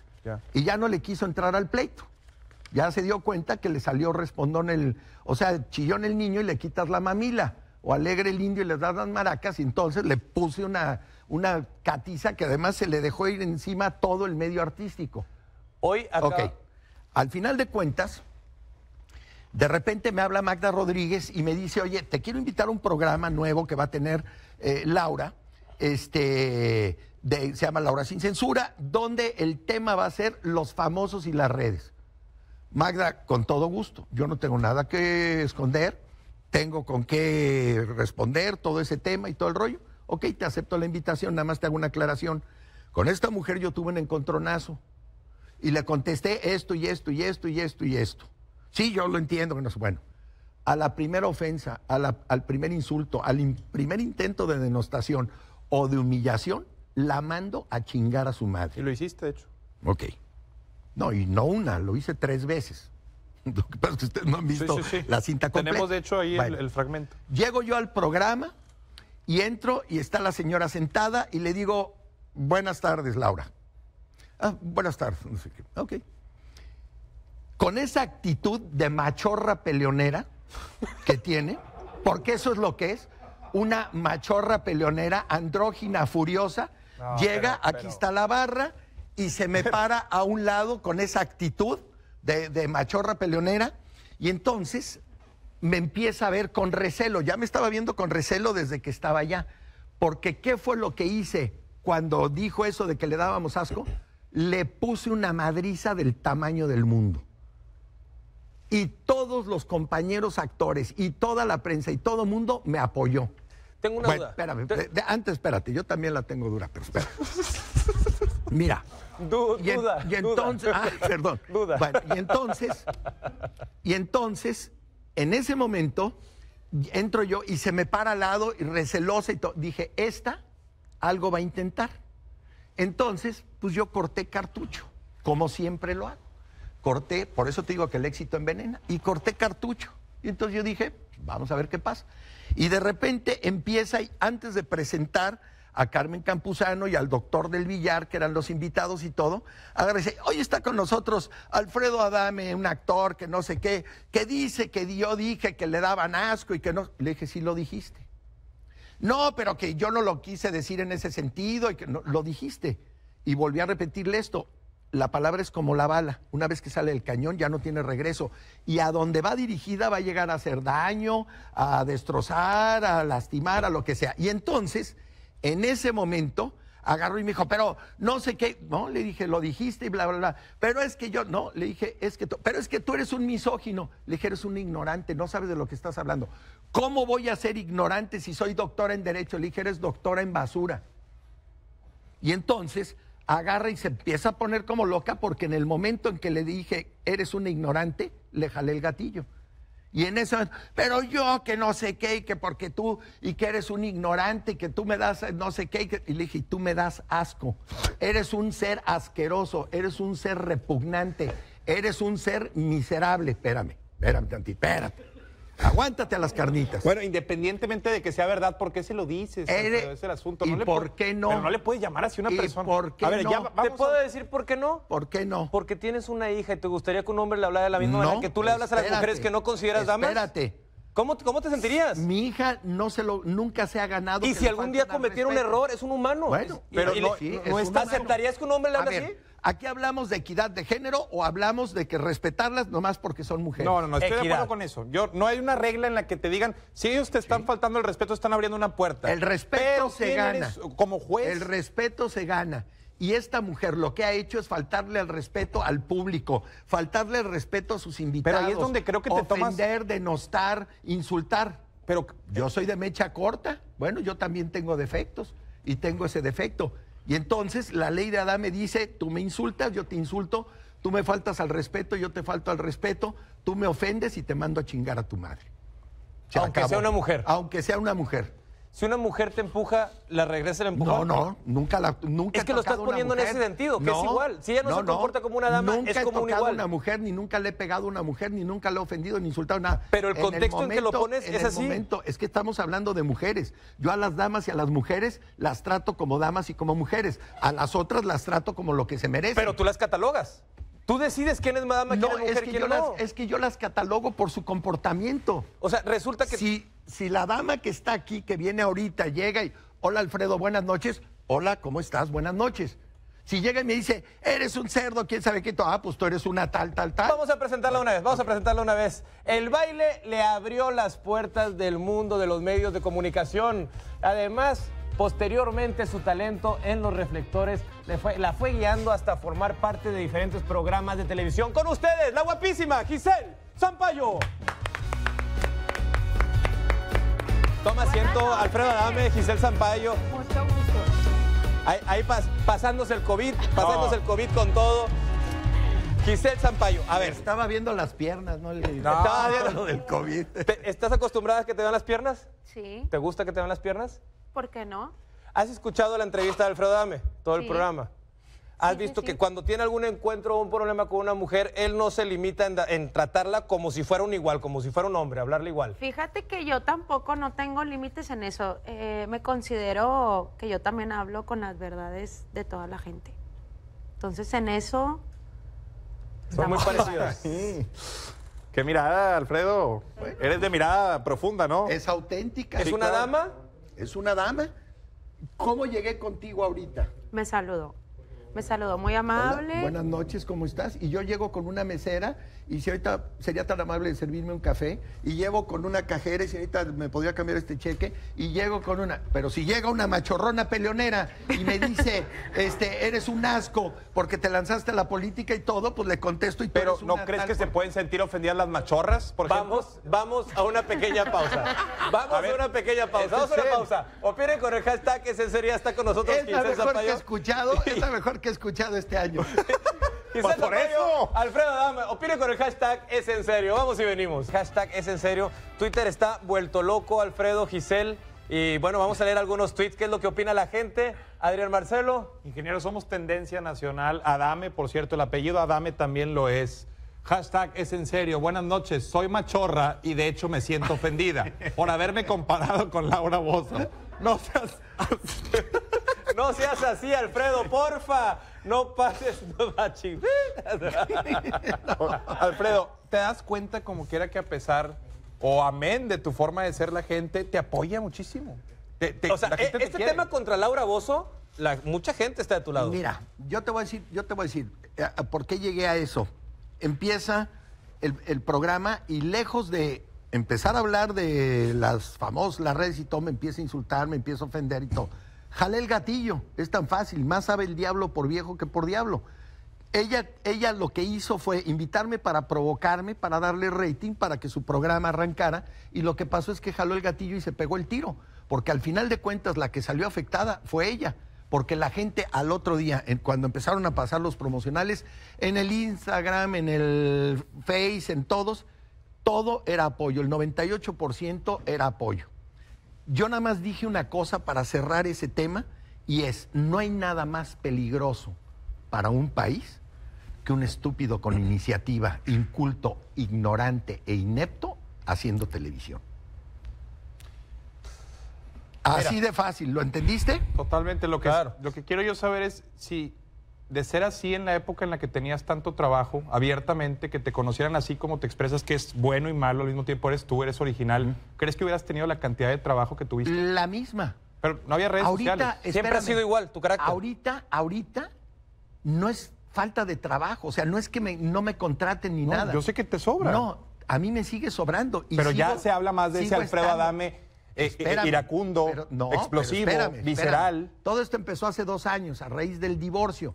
Y entonces la gente aprovechó para, eh, para colgarse de mi fama, para, para sus cinco minutos de, de fama, los reflectores y todo el rollo. Pero al final de cuentas, yo no estoy en la televisión co- con la... Sigo estando en la televisión todos los días porque vendo y, y voy a las televisoras a anunciar y todo el rollo. Lo que pasa es que no hay chamba. La televisión está quebrada. La única empresa que hacía telenovelas en México está produciendo una en vez de 12 simultáneas, Cierto. ¿no? Las demás compran telenovelas turcas, que son ahorita las mejores, y las brasileñas también. Este, los programas son unitarios. ¿Viste en el escándalo Los un refugio? ¿Eh? ¿Viste en Te el voy a decir otra refugio? cosa. Además, con todo y todo, Televisa me boletinó ¿Por qué? por el asunto de Andrés Legarreta. Y me boletinaron y de repente me llamaban para un casting y el productor me decía, Tú eres, eh, yo te quiero de protagónico, nada más te vamos a probar con cuatro mujeres. Y luego ya no me hablaban. Y una tras otra, ya tenía un programa, todo el mundo cree que sabe y de ¿Quién repente es? me lo quitan. ¿Quién es? ¿Quién es qué? El directivo. ¿Quién es la persona que te está bloqueando? No, bueno, no, eso, eso no es asunto mío. No, no, digo, no es, a mí no me interesa. ¿Y cómo te sientes Eso al respecto? es personal. De, de Ah, una eso es televisora personal. que lleva tantos años les entregaste tu vida. Bueno, imagínate cómo me siento traicionado, me siento este, ofendido, enojado, todo.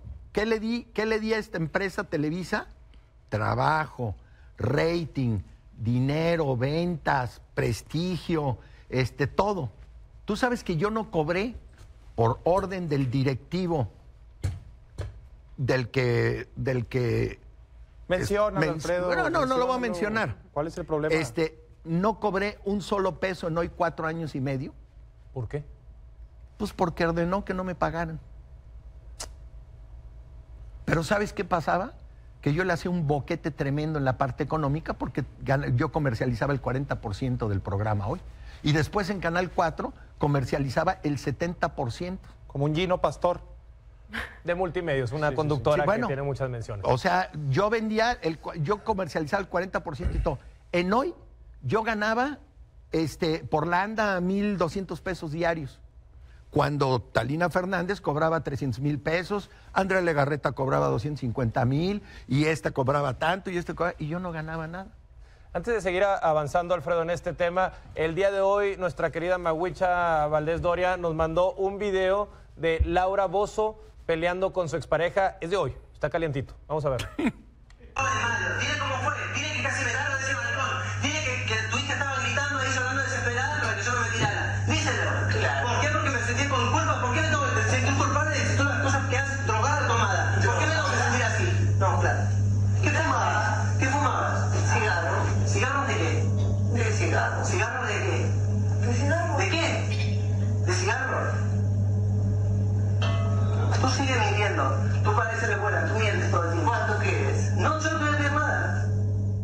opinas, Alfredo?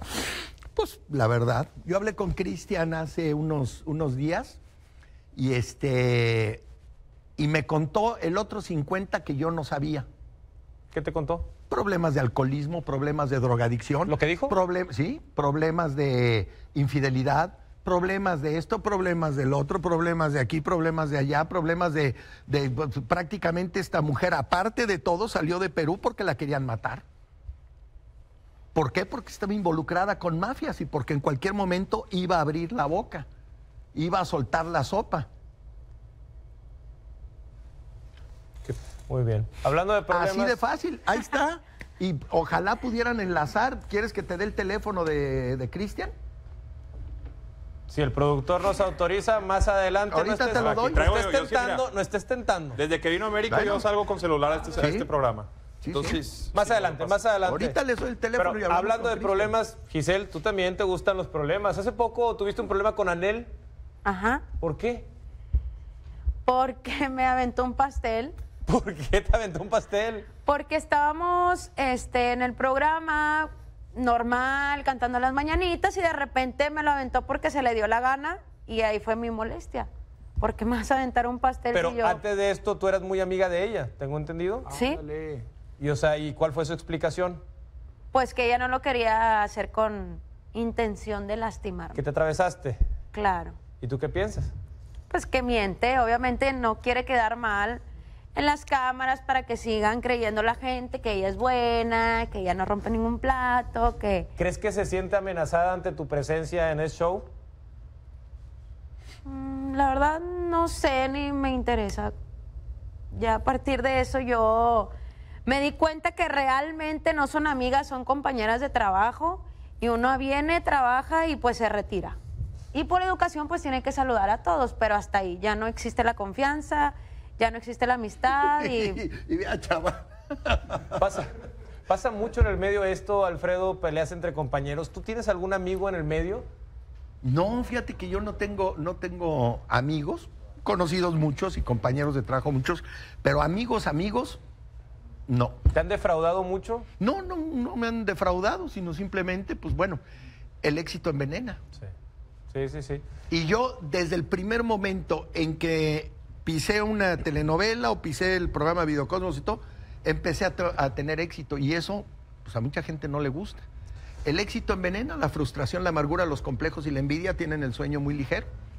Y entonces yo me dediqué a mí, me dediqué a mi familia, me dediqué a, hacer cosas por fuera, este, a vivir mi vida lejos de querer este, tener y llevarme con todos y juntarme con todos. Y no, hombre, yo hice mi vida este, por fuera, tenía muchos hobbies, las motos, los aviones de radiocontrol, los helicópteros, esto, lo otro, aquí y allá, las cuatro empresas y todo ese rollo. Entonces, pues nunca me, nunca me, me- no por otra cosa, sino porque yo sabía que genero envidias. Pero ¿por qué esta forma de expresarte con cuando tienes algún problema o alguna diferencia con alguien?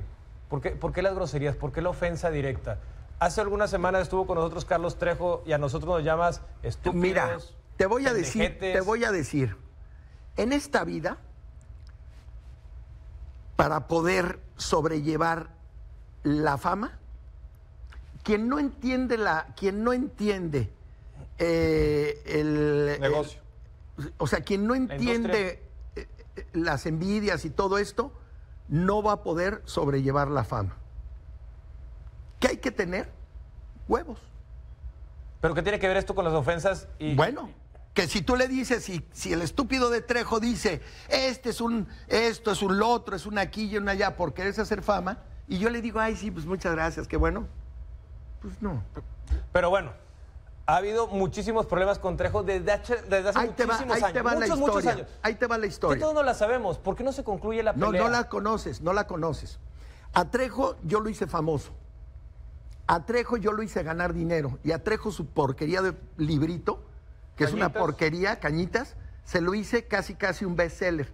¿Por qué? Porque yo lo recibí más de 15 veces en el programa hoy.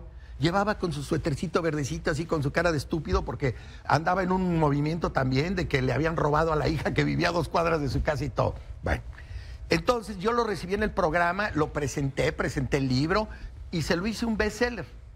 ¿Ok? Y empezó a ganar mucho dinero, hacía presentaciones de teatro y todo. Ahí terminó todo. Termina el programa, salgo yo de hoy, y eh, años después, un año después, entro a Canal 4. Y entonces, en una exitosa mesa, que era la mesa de Adame, meto fantasmas, meto brujas, ¿La meto duendes Sí. y todo este rollo. Y de repente, este que se considera el presidente mundial de la Asociación Mundial de Cazafantasmas, el único cazafantasmas, que ya lo había metido al bote Jaime Maussan, que ya lo había metido al bote el señor Drey tres veces, que ya lo habían acusado de mil cosas, este, empieza a atacarme.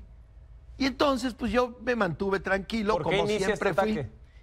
Ah, pues por envidia, por... por Pero si este- tú lo habías ayudado. Tú dices que lo habías ayudado. por eso, pues e- ese es lo que yo no entiendo. ¿Por qué me empieza a atacar cuando yo empiezo a meter fantasmas, brujas, todo este rollo en esa mesa de Adame? ¿Por qué me empieza a atacar? Le molesta que lo hayas hecho tú y que no lo hayas hablado a él. No, no, claro. Y en la mesa no lo invitamos a él, invitamos a su hermana, que era la verdadera du- dueña de la historia de Cañitas. Y en ese momento me empieza a atacar y en el programa del Coque Muñiz me empieza a faltar al respeto y todo hasta que un día, en la, un día en la tarde, con el Coque Muñiz dice cosas fuertes en mi contra. ¿Qué dijo? Pues dijo que, que, que el programita ese sin rating, que yo era un pendejo, que yo esto, que yo lo otro, que aquí ya. y Abrió al la otro día- puerta. al otro día, al otro día, sí, le jaló los huevos al diablo, en pocas palabras. Le rascó. Sí, le rascó los huevos no al diablo. tan y entonces, no, pues se ve más duro que el jalón. No, pues no, ¿Te sí. han jalado los huevos alguna vez? Mejor, mira, vamos a decir que te- te estuvo provocando, te Entonces, estuvo ahí te va. provocando. Y entonces, al otro día, Me los han chupado. al otro día. Bueno, al otro día, de por favor, repente. no, por favor, por favor. Sí, te viste muy corriente. Sí, pues, ¡Ay, mira nomás! Pues, ¿para qué le das Estás, cuerda? estás peor que Laura Bozo, hijo. Estás peor que Laura Bozo. Pues, Bueno, ¿Para qué le das cuerda? ¿No le das cuerda? al otro- Perdón, Huevitos perdón. de paloma. pues, Bueno, al otro día, al otro día, de repente les digo, pásenme, me- ya viste lo que dijo Trejo, pásenme el testigo. Pasan el testigo y le dije, mira Trejo, yo no soy igual de decente y educado que Jaime Maussan. Yo sí te rompo la madre. Y entonces contestó que no, que le dije, bueno, pues vamos a subirnos a un ring y vamos a darnos una entrada. ¿No? Se rajó. Tan me dio coraje que se rajara que le hice tres programas especiales. Ahí está uno de los productores, este Juan Camarillo, y le hicimos tres programas especiales donde le juntamos al muerto del libro que no se había muerto, al padre que se había muerto, al otro que se le había parecido el no sé qué, a la quién sabe qué, todo. Le hice tres programas homenaje donde lo exhibí como mentiroso, mitómano, fraudulento, eh, traca, todo, ¿ok? Después pasaron unos años, se volvió a meter conmigo y se la volví a cantar y le dije, órale, pues vamos a darnos una entrada. Y este no quiso. Y entonces lo corrí de la televisión. Fui a hablar con el señor Azcárraga y le dije, este cuate no puede hacer televisión. ¿Ok? No puede. Y lo corrieron nueve años de la televisión. La tercera vez, la tercera vez, este, volvió a empezar a fastidiar y entonces agarré y lo metí al bote un año y medio.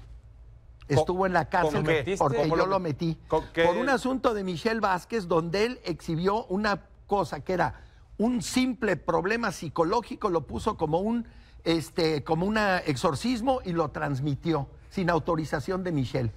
Y entonces, pues yo fui de testigo y yo le armé todo el numerito y lo metimos al bote con todas las de la ley. Un año y medio estuvo en el bote. Ahora viene el asunto de Susana Quintana de Guadalajara, de Diana Golden, de Maripaz Banquels, de no sé quién y, to- y empieza a fastidiar. Y entonces agarré y le dije un día, bueno, pues, eh, con Gustavo Adolfo Infante le dije, bueno, pues vamos a hacer una cosa. Tres rounds de tres minutos, 16 reglas de Mixed Martial Arts para Sí. peleas este, amateur, y órale. Y no, que sí, que no, y luego que sí firmaba, y luego que no firmaba, y luego que no quién sabe qué, y bla, bla, bla. Y total, no se subía, no se... ta- ta- ¿Él se echó para atrás? que me dio- él se echó para atrás. El botellazo. ¿Sabes El qué? botellazo, me ¿Te dio un parece- botellazo, me abrió. ¿Te parece si nos lo confirma? Sí, órale. Nos buscó Carlos Trejo y precisamente tenemos una llamada, tenemos un enlace con Carlos Trejo. Buenas noches, Carlos Trejo, ¿nos escuchas? Sí, yo estoy aquí. A ¿Cómo ver, están? Buenas noches. Estamos bien, pues a ver, ¿qué, qué pasó? ¿Que te rajaste tú con la pelea? ¿Qué pasó, Pito Chico? ¿Sabes por qué tengo el pito, chico? Mira, Porque mira, se lo, porque se lo dejé retacado en el culo a la mira, puta de tu madre. Mira, mira, hay tantos órdenes de restricción, pendejo. Mira, ¿eh? están Ver mentiroso, cómo le dijiste ver, momento. ¿Sabes? ¿Sabes por qué tengo el ¿Y pito, sabes qué, chico? güey? Te voy a decir algo, pinche Porque pito se lo dejé retacado en el culo a la Mira. puta de tu madre. No, no, no. Ey, no. Corta, Corta, corta ya eso, corta eso. A ver, orden, por favor.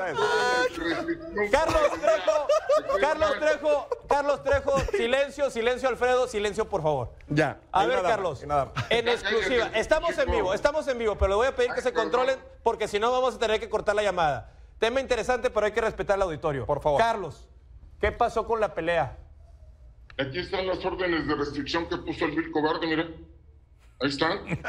No puedo tocarlo. El día 2 de agosto, la pelea estaba, yo me presenté, porque no se presentó el pocos ovarios, estaba arreglando, ¿qué le pasó? Te voy a decir una cosa, este, maricón, mugroso, cada que te veas al espejo, mi firma está en tu cara y ni tus hijos te quieren. Trataste de matar a tu propia familia, eres un mentiroso, eres un psicópata. Vamos a hacer algo tú y yo, vamos a hacer algo.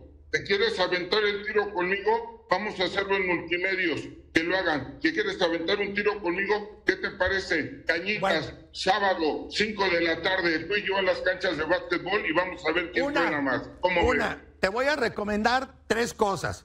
Una, que dejes de inhalar tiner y cemento. Destruye las neuronas. Vamos a hacernos Dos. un antidoping en, Dos. en el programa. Dos. Un antidoping hablador. Dos. Ándele, Que te perfumes. Misógino. Dos, que te perfumes porque eres un apestoso. Y tres, que te vayas a chingar. Vámonos a hacer una... No golpeabas a tu propia... ¿Por qué no hablas de tu hermano que se suicidó por tu culpa? ¿Por qué no hablas de tu hermano que se suicidó por tu Sí. culpa, bastardo? ¿Sí? A ver, estábamos en el tema de la pelea. Alfredo, ¿tú te subirías? ¿Lo, lo sostienes Yo o no quieres ya yo nada lo que ver? sostengo. Sí quisiera. Yo me ¿Ya subo. está? Yo lo, Aquí yo están lo- las yo lo órdenes de sostengo. restricción, mira. ¿Por qué, Yo lo por qué sostengo. no vuelves a retar si tú cancelaste? Eres un apestoso, eso es lo Aquí que eres, güey. Eres un apestoso. Mentiroso, mediocre, misógeno. Ok, Carlos, Gente oye, Carlos. de verdad, Misógeno. A ver, Seduce, A mí me se dice una- una misógino, pregunta. estúpido. Permíteme, permíteme, Alfredo. Carlos, Carlos, Carlos, Carlos, Carlos. Un segundo, por favor. Alfredo Adame, ¿te hizo en la televisión? ¿Sí o no? A mí que me va a hacer ese pobre mediocre, con broncas, ni sabe escribir. ¿Por qué crees que está votado? ¿Por qué crees que nadie lo quiere? Es un tipo que es una un, es, es un asco de persona, es un tipo mentiroso y lo más vergonzoso es que todavía el, el tipo se para, imagínate lo mentiroso que es, que presente un programa donde yo estuve presentándome con él. No existe, no lo hay.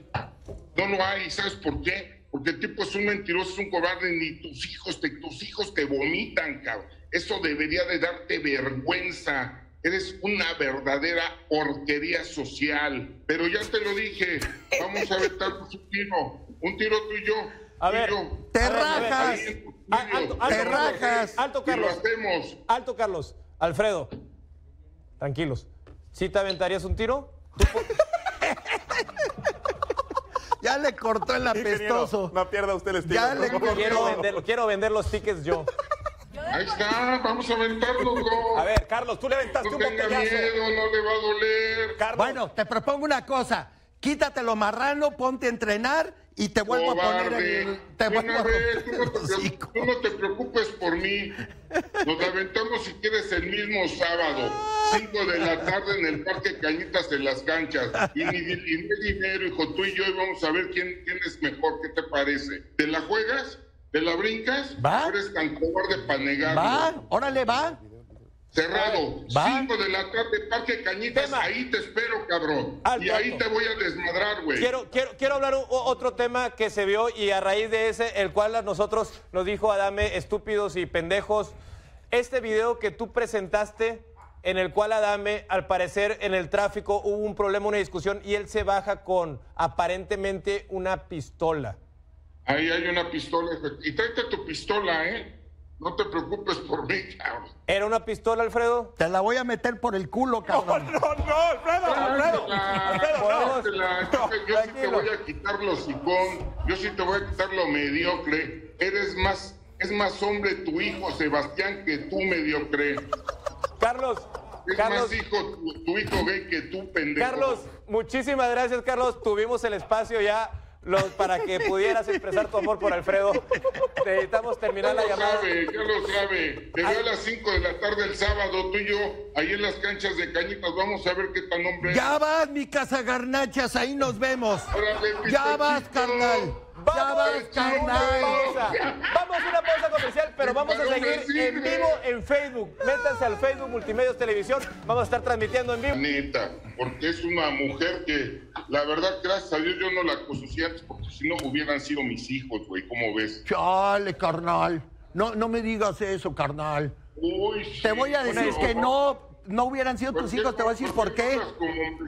Porque a esa mujer le, gua- le gustan guapos, famosos y perfumados, no apestosos Papá, como tú. Pero tú no tienes ni güey. Ya estamos en vivo, ya estamos en vivo con más de Es en Serio. Muchas gracias a la gente que nos sintonizó en Facebook Live, todo lo que sucedió durante el, durante el pequeño corte, más de 14 mil personas en la transmisión. Además, en youtube.com también estamos transmitiendo el programa para que se conecte, siempre está al pendiente. Carlos ya no va a estar con nosotros, pero él dice que sí, que se sube, que se viene para acá. Si los superamos a los dos aquí. Pero aquí, sí, aquí, porque bueno, No, fíjate, no, pero fíjate, fíjate. cosa, güey. Sigue, Carlos. dijiste, Carlos. Tú lo dijiste, pedazo de imbécil. Quedamos el sábado aquí en las canchas de, de Cañitas 5 de la tarde. Tú y Ven. yo nos vamos a ver para reventarnos la madre y te la Vente voy a para terminar Va a ser aquí. No me digas eso, gordinflón. No me digas eso, casa garnachas. No me digas eso, carnal.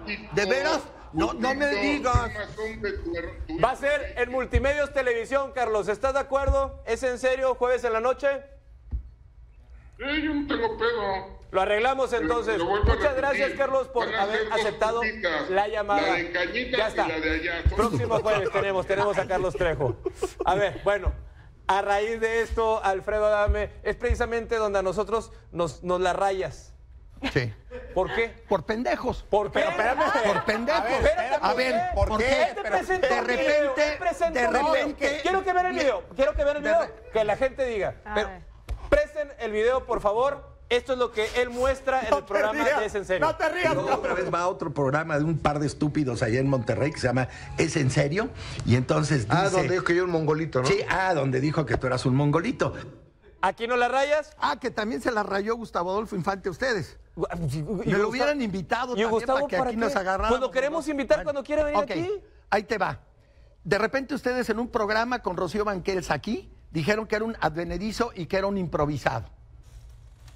¿Con qué derecho dices tú que yo soy un improvisado y un advenedizo? No recuerdo haberte dicho No, sí lo improvisado, dijiste. Pero lo que sí te Sí puedo decir, dijiste, no recuerdo dicho. Lo que sí te puedo decir y te lo garantizo es que sí te me parece una persona un misógino y que te falta el respeto hacia todas las mujeres, que no puede ser. Para Bueno, mí, para lo que mí, tú mi opines, educación es diferente. Lo que tú opines me viene valiendo un cacahuate. Yo me queda claro. Por Sin eso me embargo, queda a ti también. me sumo a la gran cantidad del país de México que dice que eres un poco hombre No, por hablarle no, así a las mujeres. No, no, no. A las mujeres no, se les puede no, faltar Espérame, no, espérame. No, no, no. No eres una de la gran cantidad porque no existe esa gran cantidad. Eres uno de los pocos pendejos ¿Por que opina eso de. Twitter? Ya, ya, ya, ya. Yo no lo cerré Twitter. Cierras no Twitter lo porque no aguantaste el hate de la No, gente por todo porque el me odio que daba tenías. flojera. Dices, 10 personas me Porque odian. la Casualmente campaña son las 10 política, mujeres que han estado contigo. Porque la campaña política simplemente empiezan a decir tontería y media y eran bots. Pero tú dices, Yo las no palabras son como un cañón que sale de una pistola. Sí, sí. Ok, después de cómo te hemos tratado aquí, bueno, al menos Ah, hazlo por mí. ¿Somos unos pendejos todavía Yo para ya, ti? había, yo ya había venido. ¿Somos unos pendejos todavía? no, No, no. por eso. Yo ya había venido, por eso.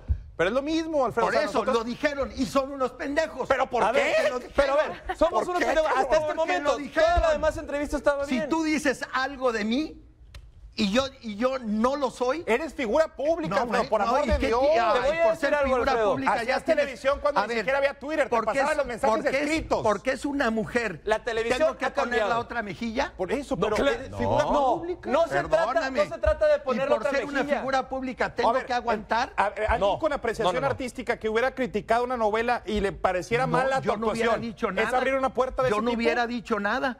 si una persona dice es un mal actor, bueno, pues ella piensa que soy un mal actor. Video tuyo. pero ¿Te si molesta a ti que que una soy mujer- una una- que hable así de una mujer? A ver, ¿cuál es el video que les enseñaron? Ahí lo tenemos. Me gustaría, Giselle, ¿te, te, te molesta que un hombre se exprese así de una mujer? Sí. ¿Qué piensas de un hombre que se expresa así de una mujer? Que la llama como él se ha referido a muchas mujeres a lo largo de su vida. Pues poco hombre, o sea, realmente a mí no me gusta eso, pero yo respeto la opinión de todos. Así como opina Giselle, opinan la gran mayoría de las mujeres. No. Uno como hombre debe de tener ese sentido de ser un No, caballero. estás Vienes de una mujer. Es- y también vengo de un hombre. Sí, pero tú, Y una también mujer te vengo pare- de un hombre. Saliste de allá no abajo de una estamos mujer. hablando de una equidad de género, no estamos hablando de que las cosas son iguales. ¿Por qué tengo yo que, por qué tengo yo, sin deberla ni temerla, que aguantar este insultos, Bueno, ofensas y todo? entonces- ¿por qué tengo que aguantar que una mujer de Guadalajara agarre y diga que tengo el pito chico cuando lo único que hice fue llevármela a vivir conmigo, arreglarle una recámara para su hija, pagarle el viaje a su hijo a ¿Y Canadá, tienes el pito darle chico, sí o dinero? no? ¿quieres, quieres? Tráete un... Vamos al baño, vete. No, no, No, ver, Por eso. Entonces, ¿por qué le sigues? ¿Por qué le sigues el juego? Aquí la- ¿Era, a era ver. rinconero mínimo? ¿Era rinconero o, o- o algo? Mira, Creo, yo Tráete creo- el flexómetro y vamos al baño. tráiganse el escalímetro. Órale. Ándale, vamos a ver. Tráete el flexómetro. Un A ver, no, no, Bueno, no. es más, préstame al cámara dos baterías. Y para que mida y cheque. Almuletas dos. Oye, yo creo que a lo mejor una mujer le hizo daño. Por eso es que ataca mucho a las mujeres. Me queda claro que, que- que- Pero- que hay un trauma no, en la cabeza de No, Alfredo no, Adame. no, es que yo no, las ataco. Todas las mujeres yo que nada han más estado contigo respondo. coinciden Sí. en algo. Yo nada más respondo. ¿Pero por qué? ¿No será que la constante es el, proble- el problema? No, yo creo que yo no soy el problema, porque yo cuando las conozco, las cortejo, las respeto, las motivo, les doy cariño, les doy amor, les doy todo. Eso es lo que y tú de dices. repente, ah, no, eso es lo que sucede. Ellas dicen y otra de cosa. repente salen con cosas como a una mujer, a una mujer como la de Guadalajara, que me está insistiendo en el Facebook, me acosa, me le contesto, que hay mucho gusto, nos conocemos. Bueno, voy a verla a Guadalajara, este, eh, la cortejo, la respeto, esto, lo otro, me la traigo a, a México a vivir con todo y hija, le doy, este, pues, le doy cariño, amor, respeto, este, económico, todo, y de repente sale con, con verdaderas tonterías, como alcohol, drogas, ponerse hasta la madre y de repente empezarme a insultar y Pues, a decirme ¿no las cosas. conoces antes? Y luego, fíjate, ahí te va, fíjate, te voy a demostrar qué tan caballero soy. De repente la corro de mi casa, tres veces la corrí, a la cuarta dije, de aquí te me vas, el chofer te lleva mañana a Guadalajara, ok. Se entera la prensa y al otro día salgo yo en nueve programas de televisión donde dije, bueno, pues, no, no, no, no se pudo. Esta es una gran mujer, es una gran madre, es una gran persona, es una gran mujer, esto y lo otro, y aquí y allá. Y al otro día sale en la revista, lo tiene así de chiquito. Y todavía al otro día vuelvo a salir yo y, bueno, no sé por qué lo habrá dicho, y por qué esto, y por qué lo otro, y por qué aquí, y por qué allá. ¿Sabes Todas qué pasó? Las mujeres que han estado Me empiezan a... Espérame. coinciden en maltrato psicológico, coinciden en que tú les faltas al respeto y te lo digo porque también nos marcó. Bueno, déjame, déjame, déjame, déjame decirte. Termina, por favor. Déjame decirte. Y entonces salgo yo otra vez y digo, bueno, pues no sé por qué lo habrá dicho, por qué esto y lo otro. Lo volví a reafirmar en varios programas de, de- de televisión y todo el rollo. Y de repente me empiezan a hablar dos o tres amigas de ella y me empiezan a mandar mensajes donde habla pestes de mí desde antes y a este le vamos a sacar lana, está hablando conmigo, estoy yo ahí, este, eh, eh, en una conversación, se oye que ella está hablando y vente para acá, a este le vamos a sacar dinero y todo.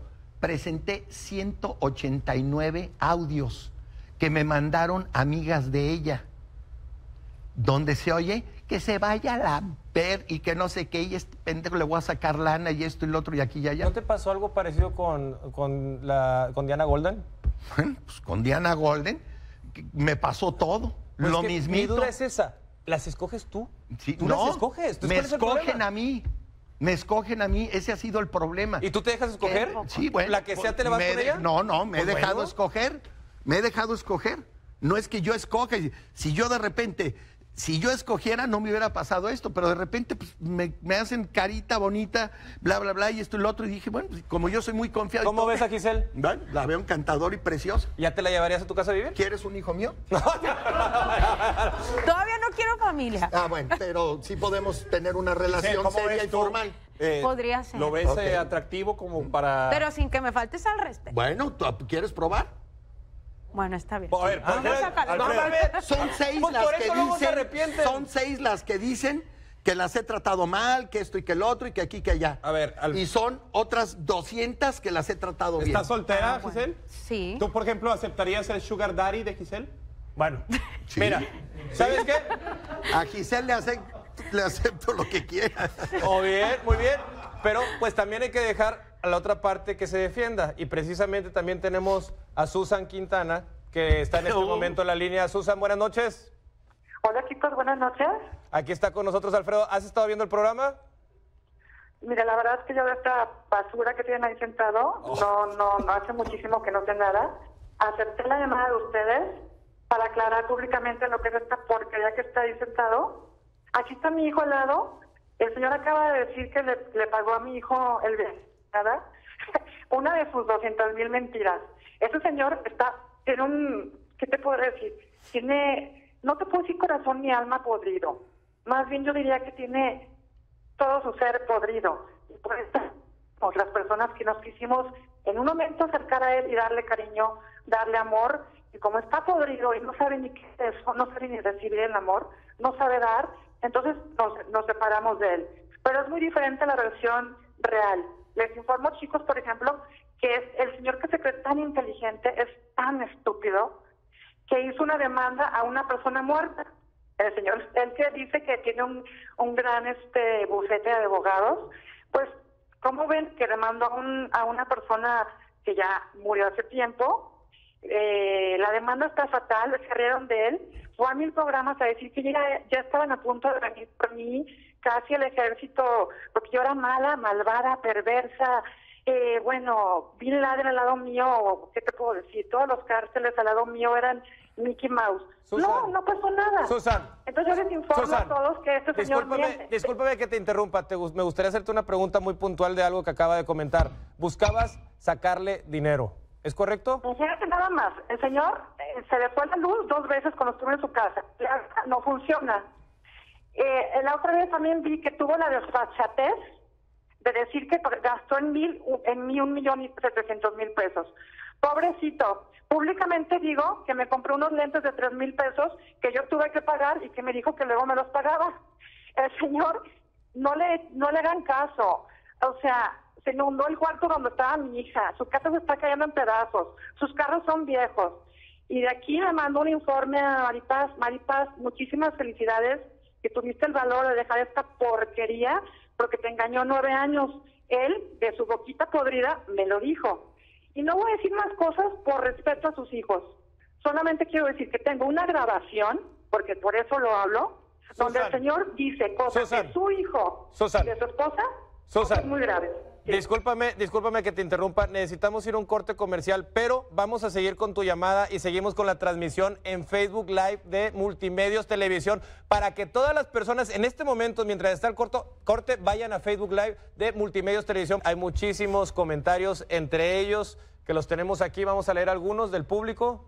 ¿Qué nos Por dice acá. Luis López? Señora, dame la comunidad de Pitos Chicos, estamos con usted. Hay una comunidad ahora, híjole. Tenemos más actividad en redes sociales con el hashtag Es en serio. Síganos mandando preguntas y comentarios y vamos a seguir platicando de regreso con todo esto. Para darle un corto, para darle un cierre a este tema de Susan que estuvimos hablando durante todo el corte comercial, Alfredo, ¿podemos concluir con algo de tu parte? Pues mira, lo que yo tenía que decir, ya lo dije, lo dije con 189 audios que se presentaron en programas como Ventaneando, como De Primera Mano, como Venga la Alegría, como pues, en, en- en muchos programas. Y bueno, pues, la que se echó la soga al cuello solita fue ella, no yo. Y bueno, pues la manera de expresarse, yo creo que una dama no se expresa así. Entonces, pues ¿Qué les haces alrededor del asunto? O sea, no- las vuelvo locas. pues defi- Las vuelvo locas. Literal, es literal. literal. Sí, literal. Mira, yo no creo que seas un misógino, eso es mi opinión. Yo no creo que seas un misógino, yo sí considero y comparto contigo el hecho de que si alguien, sea mujer u hombre, te abre una puerta de, de- de respeto, pues bueno, va, es una carretera en ambos sentidos. Lo que sí creo es que eres un narcisista, porque te sabes al dedillo todos tus logros, hablas hasta de las fechas en las que te graduaste como piloto. Claro. Todo lo bueno, todo lo bueno lo sabes, pero no he escuchado una sola autocrítica en Bueno. todas las dos horas y media No que encuentro, no encuentro Y una. no es malo ser narcisista, porque eso no, probablemente no es un producto de tu encuentro éxito. una, un tache que yo diga, no, la verdad es que la regué en esto, la... Yo te lo digo, de los siete años al día de hoy, soy un hombre decente, educado, trabajador, honesto, transparente, claro, con valores, con principios, con escrúpulos. Dime dos errores tuyos o dos defectos. Dos errores míos, una, haberme casado con Maripaz Banquels, ese fue un terrible error. Aunque implica a tus hijos. Terrible y lamentable error. Aunque lleves entre no, a no tus tomes hijos. lo que implique. Es, el error fue haberme casado. Las consecuencias y todo eso es otra cosa. Fue un terrible error. La otra, la otra que sí, que yo me, que, que yo me, que yo me reprocho a mí mismo es haber sido tan blando toda la vida. Porque esto empezó hace dos años, o dos años y medio cuando empezó el divorcio. ¿Por qué nunca tuve problemas? ¿Por qué actrizotas, protagonistas de telenovelas, María Sortel, la señora Elena Rojo, Daniela Rojo, ¿por qué nunca se quejaron de mí? ¿Por qué nunca dijeron que era un misógino, que era un pelado, que era un grosero, que era un eh, eh, agresivo, que era un esto, que era un lo otro, que era un aquí, que era un allá? Estoy de acuerdo contigo. Yo, yo ¿Por eso mismo creo que ¿Por no qué? eres misógino, pero... ¿Por qué nunca tienes- pasó o- nada? O vibras en esta frecuencia en la que escucho muchos conceptos como envidias, iras... eh, Bueno, no sé entonces dónde ¿por está lo bueno Por- o, por o qué? explícame ¿por de dónde es viene el éxito, porque no lo encuentro. Bueno, al menos. No encuentras el, de dónde viene el éxito talento mío. lo tienes de sobra. No, estoy- no encuentras de dónde pero viene el éxito. Es que me hablas puras cosas que son como vibrar en una frecuencia muy baja, como llaman. No, a ver, espérame. Sentimientos que provienen ver, hasta de, espérame. de- de la bilis. Yo te hablo del éxito porque lo he tenido. Yo sí lo conozco. Definitivamente, yo no soy el quien para decir si lo has tenido o no. Me dices, me dices, no, porque no entiendo el éxito. Bueno, ¿Qué, yo es, sí lo qué es el entiendo. éxito para ti? El éxito es ser tú mismo y ser positivo en lo que tú haces. ¿En tu vida personal y En familiar logros. has tenido éxito? Sí, en mi, mi familia fue un éxito. 22 años fue un éxito. Hasta que de repente me harté de que me estuvieran viendo la cara. Entonces no de era que un me éxito. estuvieran usando. Entonces no era ah, un bueno, éxito. yo lo hice un éxito. ¿Cómo lo hiciste un éxito? si Yo me que debí de haber divorciado de esa mujer a los tres años o a los dos años. Ya tenía un hijo, después tuve otro y después, y después dije voy a jugar al papá, al papel de papá idiota, me voy a hacer el loco, ya no tengo interés en otra mujer y todo, y voy a hacer un éxito de mi familia. Y así fue porque éramos la familia modelo, hasta que un día me hartó, me hartó su comportamiento, me hartó todas las cosas perversas, malvadas y todo lo que hacía. Ve cómo se expresa Susana Quintana. ¿Sabes qué me dijo el hijo de Susana un día cuando llegó a mi casa? Cuando yo la conocí, no se hablaban. Él, ella y su hijo no se hablaban. El hijo la odiaba. Y entonces de repente iba a tener un concierto, porque el hijo es cantante, y me invitó al, a- o sea, se hizo invitar a fuerzas. Llegamos al concierto, nos presentó. Después el hijo fue a México, a mi casa. Pasó Navidad y Año Nuevo con nosotros. Se fue a Canadá, yo pagué el viaje a Canadá. ¿Y sabes qué me dijo el hijo cuando nos estacionamos un día en mi casa? Alfredo, tú no sabes quién es mi mamá. Tú no sabes, no tienes idea quién es mi mamá. Ten mucho cuidado. Cuando yo empecé a andar con ella, como a los dos meses, cuando se hizo público, me hablaron de Guadalajara no menos de seis o siete mujeres. Entre ellas, una periodista de Guadalajara y me dijo, ten cuidado con esa mujer, es muy peligrosa. Y luego otra gran actriz y conductora y, y maestra y todo el rollo, me habló y me dijo, ten cuidado con esa mujer. Aquí hizo esto y esto. Y luego me habló otra y me dijo, a mí me deshizo el matrimonio, a mí esto, a mí lo otro, aquí, allá y bla, bla. Alfredo, tú sabes que el éxito de los programas se debe, se debe a la comercialización. Necesitamos ir al último corte comercial, pero al regresar nos gustaría platicar precisamente, entonces han sido malas elecciones tuyas de mujeres. Malas elecciones mías. O sea, Me gustaría he dejado con esto. Que, las, que, las, que las malas elecciones me elijan. Vamos, vamos y venimos a una pequeña pausa y manden sus comentarios. Vamos a leer algunos tweets al regreso respecto a las mujeres. ¿Cómo eres? Pues no soy misógino. Este, nunca le he pegado, nunca le he ofendido, nunca he maltratado, nunca he denostado, humillado ni nada a una mujer o a una dama. Simplemente le respondo a esas personas como Susana Quintana. ¿Qué concepto tienes de salud mental, Alfredo? Yo no quiero interpretar nada, pero a temprana edad fuiste a terapia, algún, Pues No, no tengo, algún diagnóstico. No tengo aquel Trastorno ah, bipolar. No, no, ya me están tratando, tildando de loco. No, loco, no es loco, No, no. es- es un- hay nunca lo necesité. Debí de haber ido a una terapia para que se me quitara ¿Manejo lo ira? pendejo. ¿Manejo de ira? No, ¿Crees es que, que ahí puedes tener un área de oportunidad en tu No, no, no, no, no. Yo no tengo problemas de nada. ¿Consumo de cocaína? Alfredo? Bueno, cemento inhalado y tiner sí. pero no. Es que ti- tienes algunos tics. Tengo tics ¿Tienes tics? nerviosos, claro. Porque yo veo donde le haces Sí, así, claro. así. y- No, no quiero ofender. 16 Meramente tics. la gente puede No, malinterpretar. por eso pregunto. 16 tics. De repente me dan y de repente en tres meses no lo hago y de repente le hago hacia el cuello o de repente puedo hacerle con los ojos y todo. Eso lo tengo desde los siete años Te creo. o seis años. Y eso no es ningún problema. Es un tic ¿No? nervioso. ¿Algún problema con la homosexualidad? No, ninguno. ¿Cómo le respondí? Tengo muchos amigos homosexuales, siempre los he respetado, siempre los he apoyado, siempre me he expresado bien. Cuando alguien se expresa mal de una persona homosexual, le digo, oye, tranquilo, o sea, no te metas con eso, no tiene ningún problema. Y eso desde antes de saber que yo tenía un hijo homosexual. Y cuando mi hijo me lo dijo, lo primero que me levanté, lo abracé y le dije, yo te apoyo, yo te quiero, yo te amo. Entonces, No, contestas de una forma en la que sinceramente no, no- ¿Estás seguro Bueno, de tu forma ¿puedo de más? pensar? Se ve que, que- que no, no le dudas, no, es, que titubeas. yo, es que yo soy asertivo Sí. porque tengo los pelos de la burra en la mano. Y muchos periodistas dicen, podrá ser peleonero, podrá ser esto, pero cuando Alfredo Adame dice algo es porque tiene los pelos de la burra en la Sí. mano. Si yo te digo que Rocío Banquels vendía cocaína y marihuana en un departamento de Fuentes del Pedregal, es porque tengo las pruebas. Si yo te digo que Trejo es un mató a la mujer, es porque tengo las pruebas. Eso es muy fuerte. Es Si muy yo te digo que Trejo sacó a su hijo por ser homosexual de su casa a patadas y lo dejó tirado, inconsciente, afuera de su casa y todo, todas esas pruebas las presenté en el programa de Gustavo Adolfo Infante. Y si yo te digo que tal actriz se tomaba tres botellas en una obra de teatro, es porque tengo las pruebas. ¿Laura Zapata estás hablando? Mira, Laura Zapata. Y si te digo que esto y si te digo que el otro es El porque tema, tengo el los tema- hablando de Laura la la Zapata, hablando del tema de, de- que tú llegaste a decir que era un autosecuestro para sacarle Claro que lo fue. ¿Cómo claro que lo fue. Bueno, yo tenía un amigo en la Federal de Seguridad que en ese momento era comandante de la Federal de Seguridad y tenía relación con la DIP y tenía relación con, con esto y con lo otro y con aquí y con allá. Cuando pasó lo de Laura Zapata, a mí, yo le pregunté a mi cuate, oye, ¿cómo ves? Y me dijo, fue un autosecuestro. Para sacarle dinero a Tommy Motola y a Talía. Y ellos lo dijeron. Ellos mismos lo dijeron, no yo, y lo dijeron años antes que yo.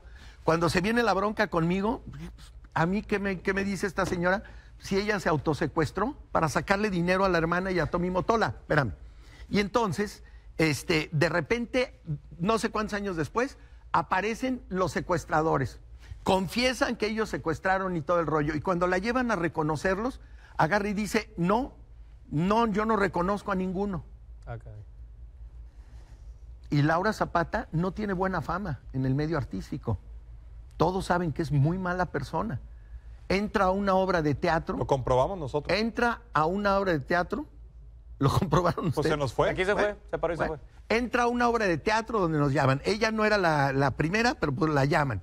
Y entonces llega y le empieza a meter el pie a Eileen Mújica. Y empieza a fastidiar a los músicos y empieza a fastidiar y a hacer este, eh, eh, manejos perversos y malvados con el productor y todo el rollo, y de repente nos deshace la obra y deja sin trabajo a 70 familias. A mí no me preocupó porque mi parte económica está bien y sana, pero a 70 bailarinas, orquesta, staff y todos los dejó sin trabajo. Y es perversa y es malvada. Y la sorprendí y la exhibí. ¿Me entiendes? Y luego entonces ya se armó la bronca. Y luego ya cuando le dije lo del autosecuestro y todo ese rollo, ya no le pareció y entonces mejor se replegó. Eh, los Tigre. Magali Medina. Magali Medina, ¿qué pasa? A mí me hablan y me dicen, este, eh, un programa con Magali. Sí, ¿cómo no? ¿Ok? Como lo hice con Magda Rodríguez cuando me dijo, oye, te invito a este programa. ¿Cómo no? Yo no tengo nada que esconder y con todo gusto voy. Yo iba a un programa con Laura Bozo de este, los famosos y las redes. Me habla Magali Medina, de entrada no me deja hablar. O sea, hoy le dije, bueno, déjame hablar. No, que no sé qué, porque tú eres un misógino. No, pues, espérate, yo no soy un misógino. Hasta que apreté el gatillo. Y le dije, eres una ignorante y no sabes de lo que estás hablando. Y en ese momento se puso como loca, empezó a gritar, empezó a ofender y empezó a todo. Y de repente todo terminó en que la llevé al extremo de decirme, pues por mí te vas a chingar a tu madre y me sacó del aire. Sí, lo vi. Ella a mí, no yo a ella. Yo nada más le apreté el gatillo y ya sabía a dónde le iba a llegar. Más sabe el diablo por viejo que por diablo. Lo mismo, lo mismo con Laura Bozo. Se está llegando a su final el programa, pero no, quiero ahora despedirlo. nos quedamos como Nino Canún hasta las 3 de la En mañana. Facebook Live, en Facebook Live. Eh, quiero aclarar algo nada más para todos los fans de Giselle Sampaio y Giselle que está con nosotros. Primero pedirte una disculpa. No te Tenemos a Alfredo Adame que, que, bueno, han salido muchos temas eh, muy polémicos, pero te queremos extender la invitación a que nos vuelvas a acompañar, por favor. Y pues complacencia, obviamente, a todos los fans que han estado esperando el programa para verte. Y pues tú te mereces el respeto y el tiempo de nosotros y no pequeños pedacitos. Entonces nos encantaría si nos aceptas la invitación de venir y ahora sí tener una plática larga y tendida. No, ya no quiero. No. Y Por yo favor. te invito a donde quieras. Ah, Giselle, y no solo eso, que el siguiente jueves nos aportes esa cuota de polémica que sabemos siempre traes contigo. La que tú traes. Por favor. Claro que sí, no pasa nada. Yo entiendo aquí, bienvenido. Gracias, mi amor, Este, muchas gracias. Vamos a platicar de la COVID fiesta. que nos invites también, por favor. Ese es- ¿Para qué? Si no va ninguno de los dos. Pues no llegó la invitación, ¿te invitó? GPI, ¿para qué dicen GPI si no van a ir? GPS. Alfredo, nos quedan dos minutos. No hablamos de tu fundación. Dinos rápido. Ah, bueno, pues la fundación es una fundación que, que tiene, bueno, pasaron, pasen el video de lo que hice hoy en la mañana, de lo que hicimos hoy en la mañana, y bueno, pues es una fundación que tengo una benefactora aquí en Monterrey, que es una gran mujer, y que, este, bueno, pues me, eligió a mí para que hiciéramos cosas muy buenas, eh, cosas internacionales, cosas en México. Este es un muchachito que quiere ser eh, atleta paralímpico, le conseguimos su silla de ruedas, le vamos a, yo voy a hablar con el director de la CONADE para que lo hagan un atleta paralímpico, tiene ya 18 años, para que se lo lleven a México, porque él tiene grandes ilusiones y todo. Jaimito, que es el otro muchacho, es un niño que tiene una bala en la, en la columna vertebral y entonces, bueno, pues tiene, eh, necesita tratamientos. ¿Cómo pueden apoyar? Rápidamente. ¿Cómo lo pueden? Próximamente lo van a saber. Ok. Próximamente ¿De qué tienen lo, que estar al pendiente? Lo, lo ¿Dónde van a saber. De la información que yo les voy a dar. ¿En dónde? Y toda la en una página que vamos a armar de la fundación, porque la fundación se acaba. Yo tengo 22 años haciendo altruismo con muchas fundaciones, con muchas todo. Mira, él es él es Jaimito y este y entonces él tiene incrustada una bala y necesita tratamientos y todo. Entonces, aquí en Monterrey vamos a hacer mucha labor para que todos estos niños tengan Y lo eso que- como no vende mucho, no se habla mucho. Pues bueno, eso no Desgraciadamente, No se hace escándalo. ojalá hubiera venido a estos. Bueno, vamos a darnos la mano. Voy- les voy a pedir- por favor, ¿qué vamos a darnos la Un mano. placer, un placer por Y ahí todo. muere, ¿ok? Les voy a pedir una, una selfie, la selfie oficial, por favor, del programa. Un placer que nos hayan acompañado. Adrián, Ahí voy. ¿Estás bien, Ahí voy, claro que sí. Estás bien. listo. No, no, qué bárbaro. No, Qué bueno. No hard feelings. que una No, disculpa. ¿vale? Gracias, muchas gracias por venir, Alfredo. Otro No, programa. gracias ahora a sí ya bien. Gracias. Dios te no bendiga. No ¿Qué se paso? Listo. Buenas noches, esto fue Es en serio.